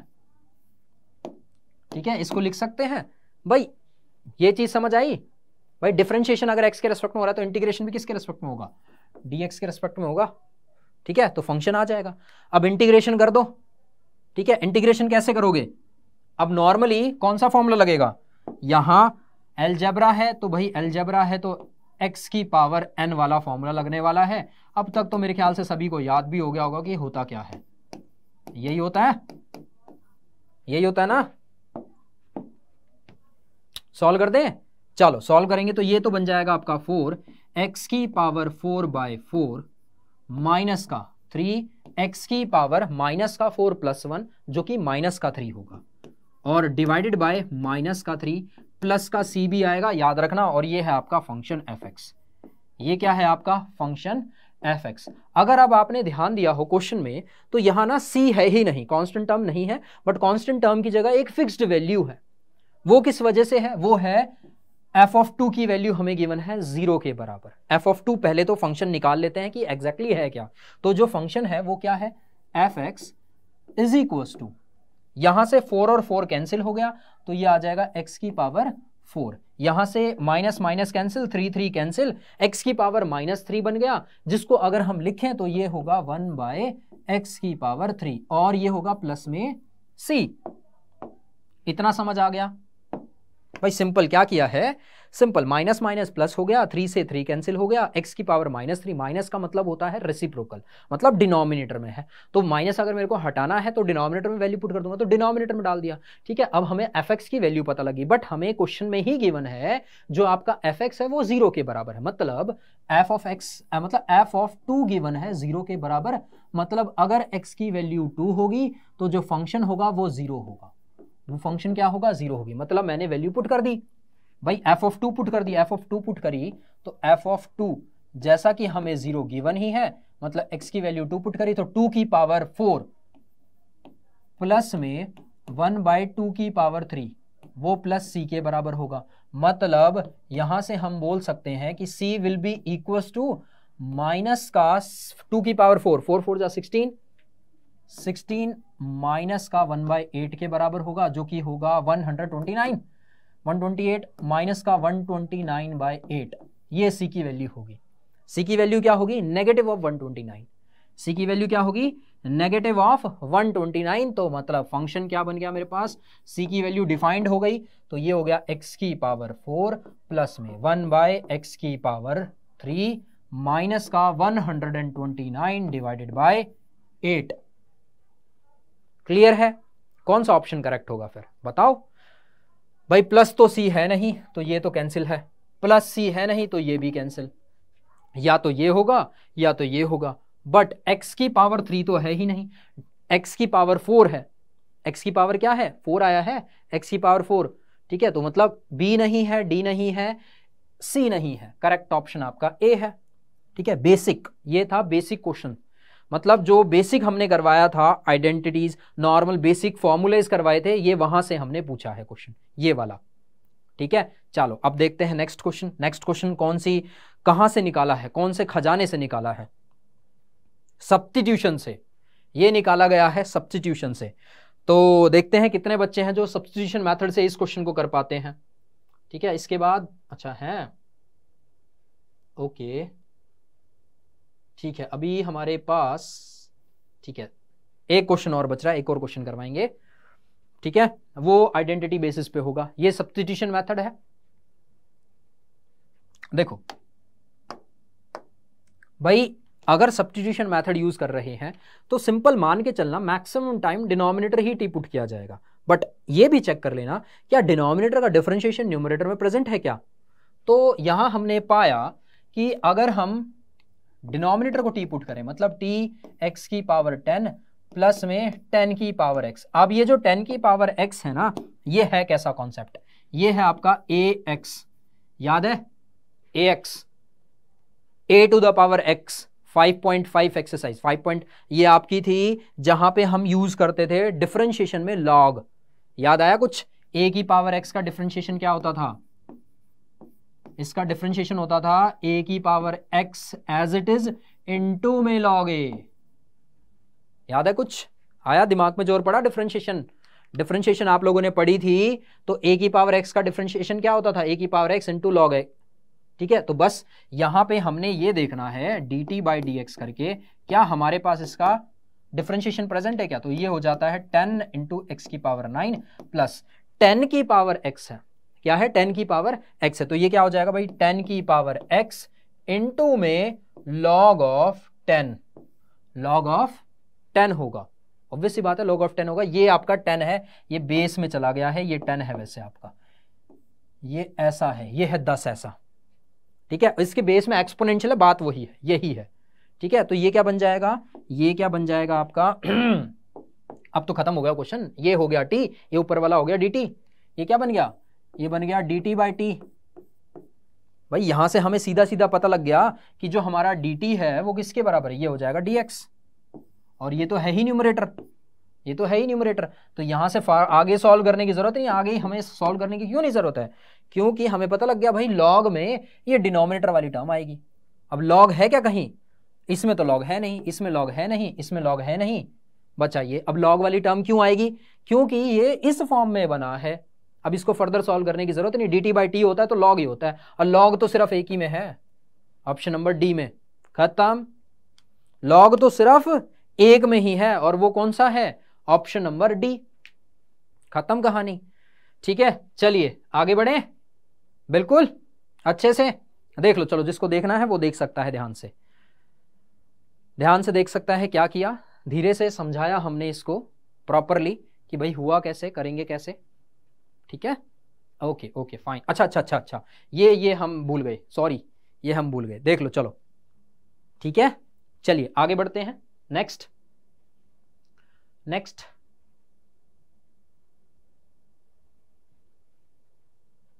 ठीक है? क्या ये क्वेश्चन आप खुद कर सकते हो? चलो, ठीक है. इस क्वेश्चन को करवाते हैं.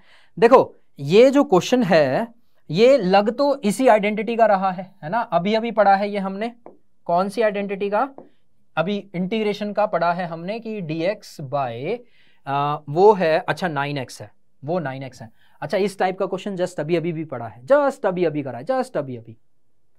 है ना? तो ये क्वेश्चन हम देना चाहेंगे आपको होमवर्क के तौर पे। बिल्कुल डिक्टो है। मतलब एक सीधे का भी फ़र्क नहीं है। बस हाँ फोर को आपको बाहर निकालना पड़ेगा। बस आपको क्या करना पड़ेगा? फोर को बाहर आउट निकालना पड़ेगा। बाहर निकालना पड़ेगा मतलब इसको ऐसा करना पड़ेगा कि integration d x divided by ये हो जाएगा आपका रूट का nine by four x minus का एक्स स्क्वायर रूट का फोर बाहर निकलेगा वन बाय रूट का फोर तो ये वन बाय टू होगा। ऐसे इसको सॉल्व करना पड़ेगा। चलो चलो, ठीक है, करवा देते हैं। होमवर्क होमवर्क कुछ नहीं। मैक्सिमम बच्चे बोलेंगे कि ये एक टेढ़ा सा क्वेश्चन था, वो भी होमवर्क के तौर पे दे दिया। चलो, इसको फ़िलहाल देखो, जो हमारे पास आइडेंटिटी थी, चलो मिटा के प्रॉपर तरीके से करते हैं। जो हमारे पास फॉर्मूला था, वो अभी अभी हमने पढ़ा है कि अगर एक्स स्क्वायर नेगेटिव में हो ना, अगर एक्स स्क्वायर नेगेटिव में हो तो यहाँ पे ये वाला सिंपल सा बन जाता है। ये वाला बन जाएगा square root of a square minus x square बन जाएगा। बस हमें इस फॉर्म में इसको कन्वर्ट करना है। बस हमें हमें क्या करना है? इस फॉर्म में इसको कन्वर्ट करके रखना है। मतलब कन्वर्ट करके रखना है। ठीक है? तो कैसे करें? है ना? तो इसमें एक तो सिंपल तरीका, पता क्या है? सिंपल तरीका है, भाई टू बाहर निकाल लो। ये कुछ ऐसा हो जाएगा, ये बन जाएगा वन बाई टू जस्ट अभी बताया था। ये हो जाएगा इंटीग्रेशन ऑफ़ ये होगा d x divided by square root of nine by four x minus का एक्स स्क्वायर अच्छा निकाला क्यों? ये एक्स स्क्वायर का कोफिशियंट फोर था, निकाला क्यों?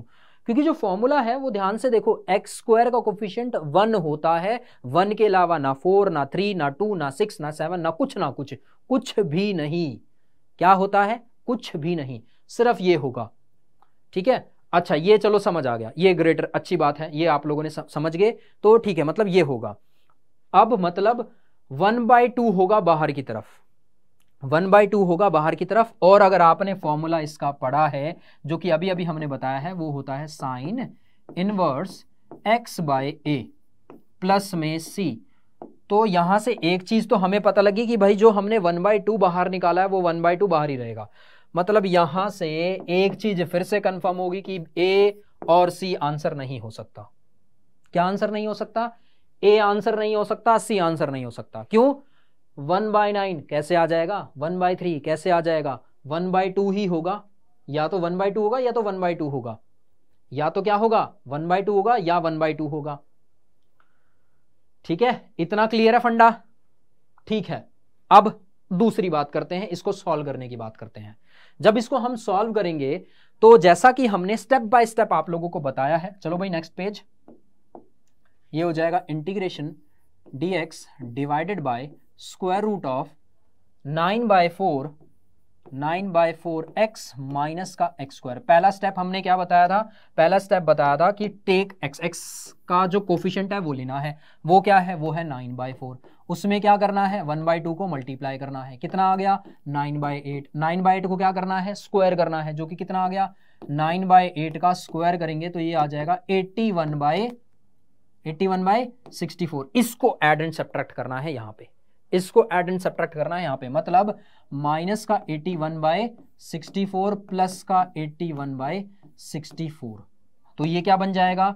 ये अगर आप ध्यान से देखो तो ये बन जाएगा integration of x divided by plus का एटी वन बाय सिक्सटी इधर की तरफ़, जो कि क्या बन जाएगा? Square root of eighty one by sixty मतलब नाइन बाय एट का होल स्क्वायर ठीक है? बाकी जो टर्म्स आपकी बच रही हैं, जरा ध्यान से देखना। ये ये और ये।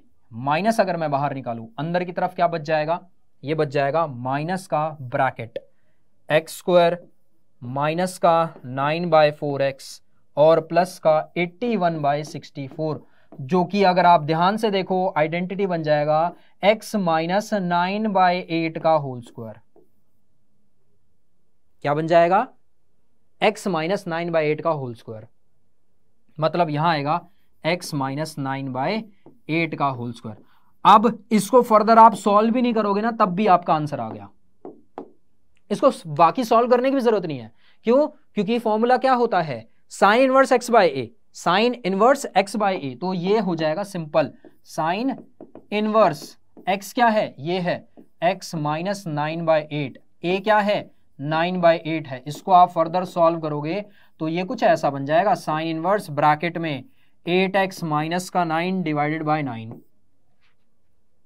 कैसे? एलसीएम लिया। यहाँ से आपने एलसीएम लिया। ये वन था। एट हो गया। एट एक्स माइनस नाइन हो गया। Divided by eight. Similarly nine by eight eight और एट से कैंसिल तो ये क्या हो गया? Eight x minus nine by nine by, अबे नाइन? ठीक है। अच्छा यहाँ पे कॉमन आउट क्या निकाला था? अगर आपको याद हो कॉमन आउट था वन बाई टू तो वन बाई टू भी चलता आ रहा है, वो हम मिस कर रहे हैं जानबूझ के क्योंकि एक बार नॉर्मल फॉर्म आपको समझ आ जाए, फिर वन बाई टू लगाना मच मोर इजियर टास्क तो ये क्या हो जाएगा? यहाँ पे वन बाई टू था, यहाँ पे भी था, यहाँ पे भी रहेगा. यहाँ पे भी रहेगा. तो आंसर कौन सा करेक्ट होगा? ये होगा one by two divided by one by two ये one by two eight x minus nine वाला. एट एक्स माइनस नाइन कहाँ है? ये है। तो ऑप्शन कौन सा correct option number B correct option number कौन सा करेक्ट बी करेक्ट सिंपल थोड़ा सा था नो no डाउट अच्छा था अच्छा था अच्छा था गुड था, बढ़िया था। ठीक है? चलिए, बहुत अच्छे बहुत अच्छे। अब एक क्वेश्चन देते हैं आपको सेल्फ ट्राई करने के लिए। इतने करवा दिए, एक तो सेल्फ ट्राई आप लोगों का भी बनता है।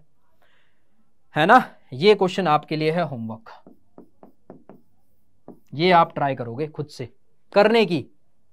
ये आप खुद से ट्राई करोगे करने की। क्वेश्चन क्या है? dx by divided by sine square x into cos square x इसका आपको इंटीग्रेशन करके दिखाना है। देखते हैं कितने बच्चे इसको कर पाते हैं।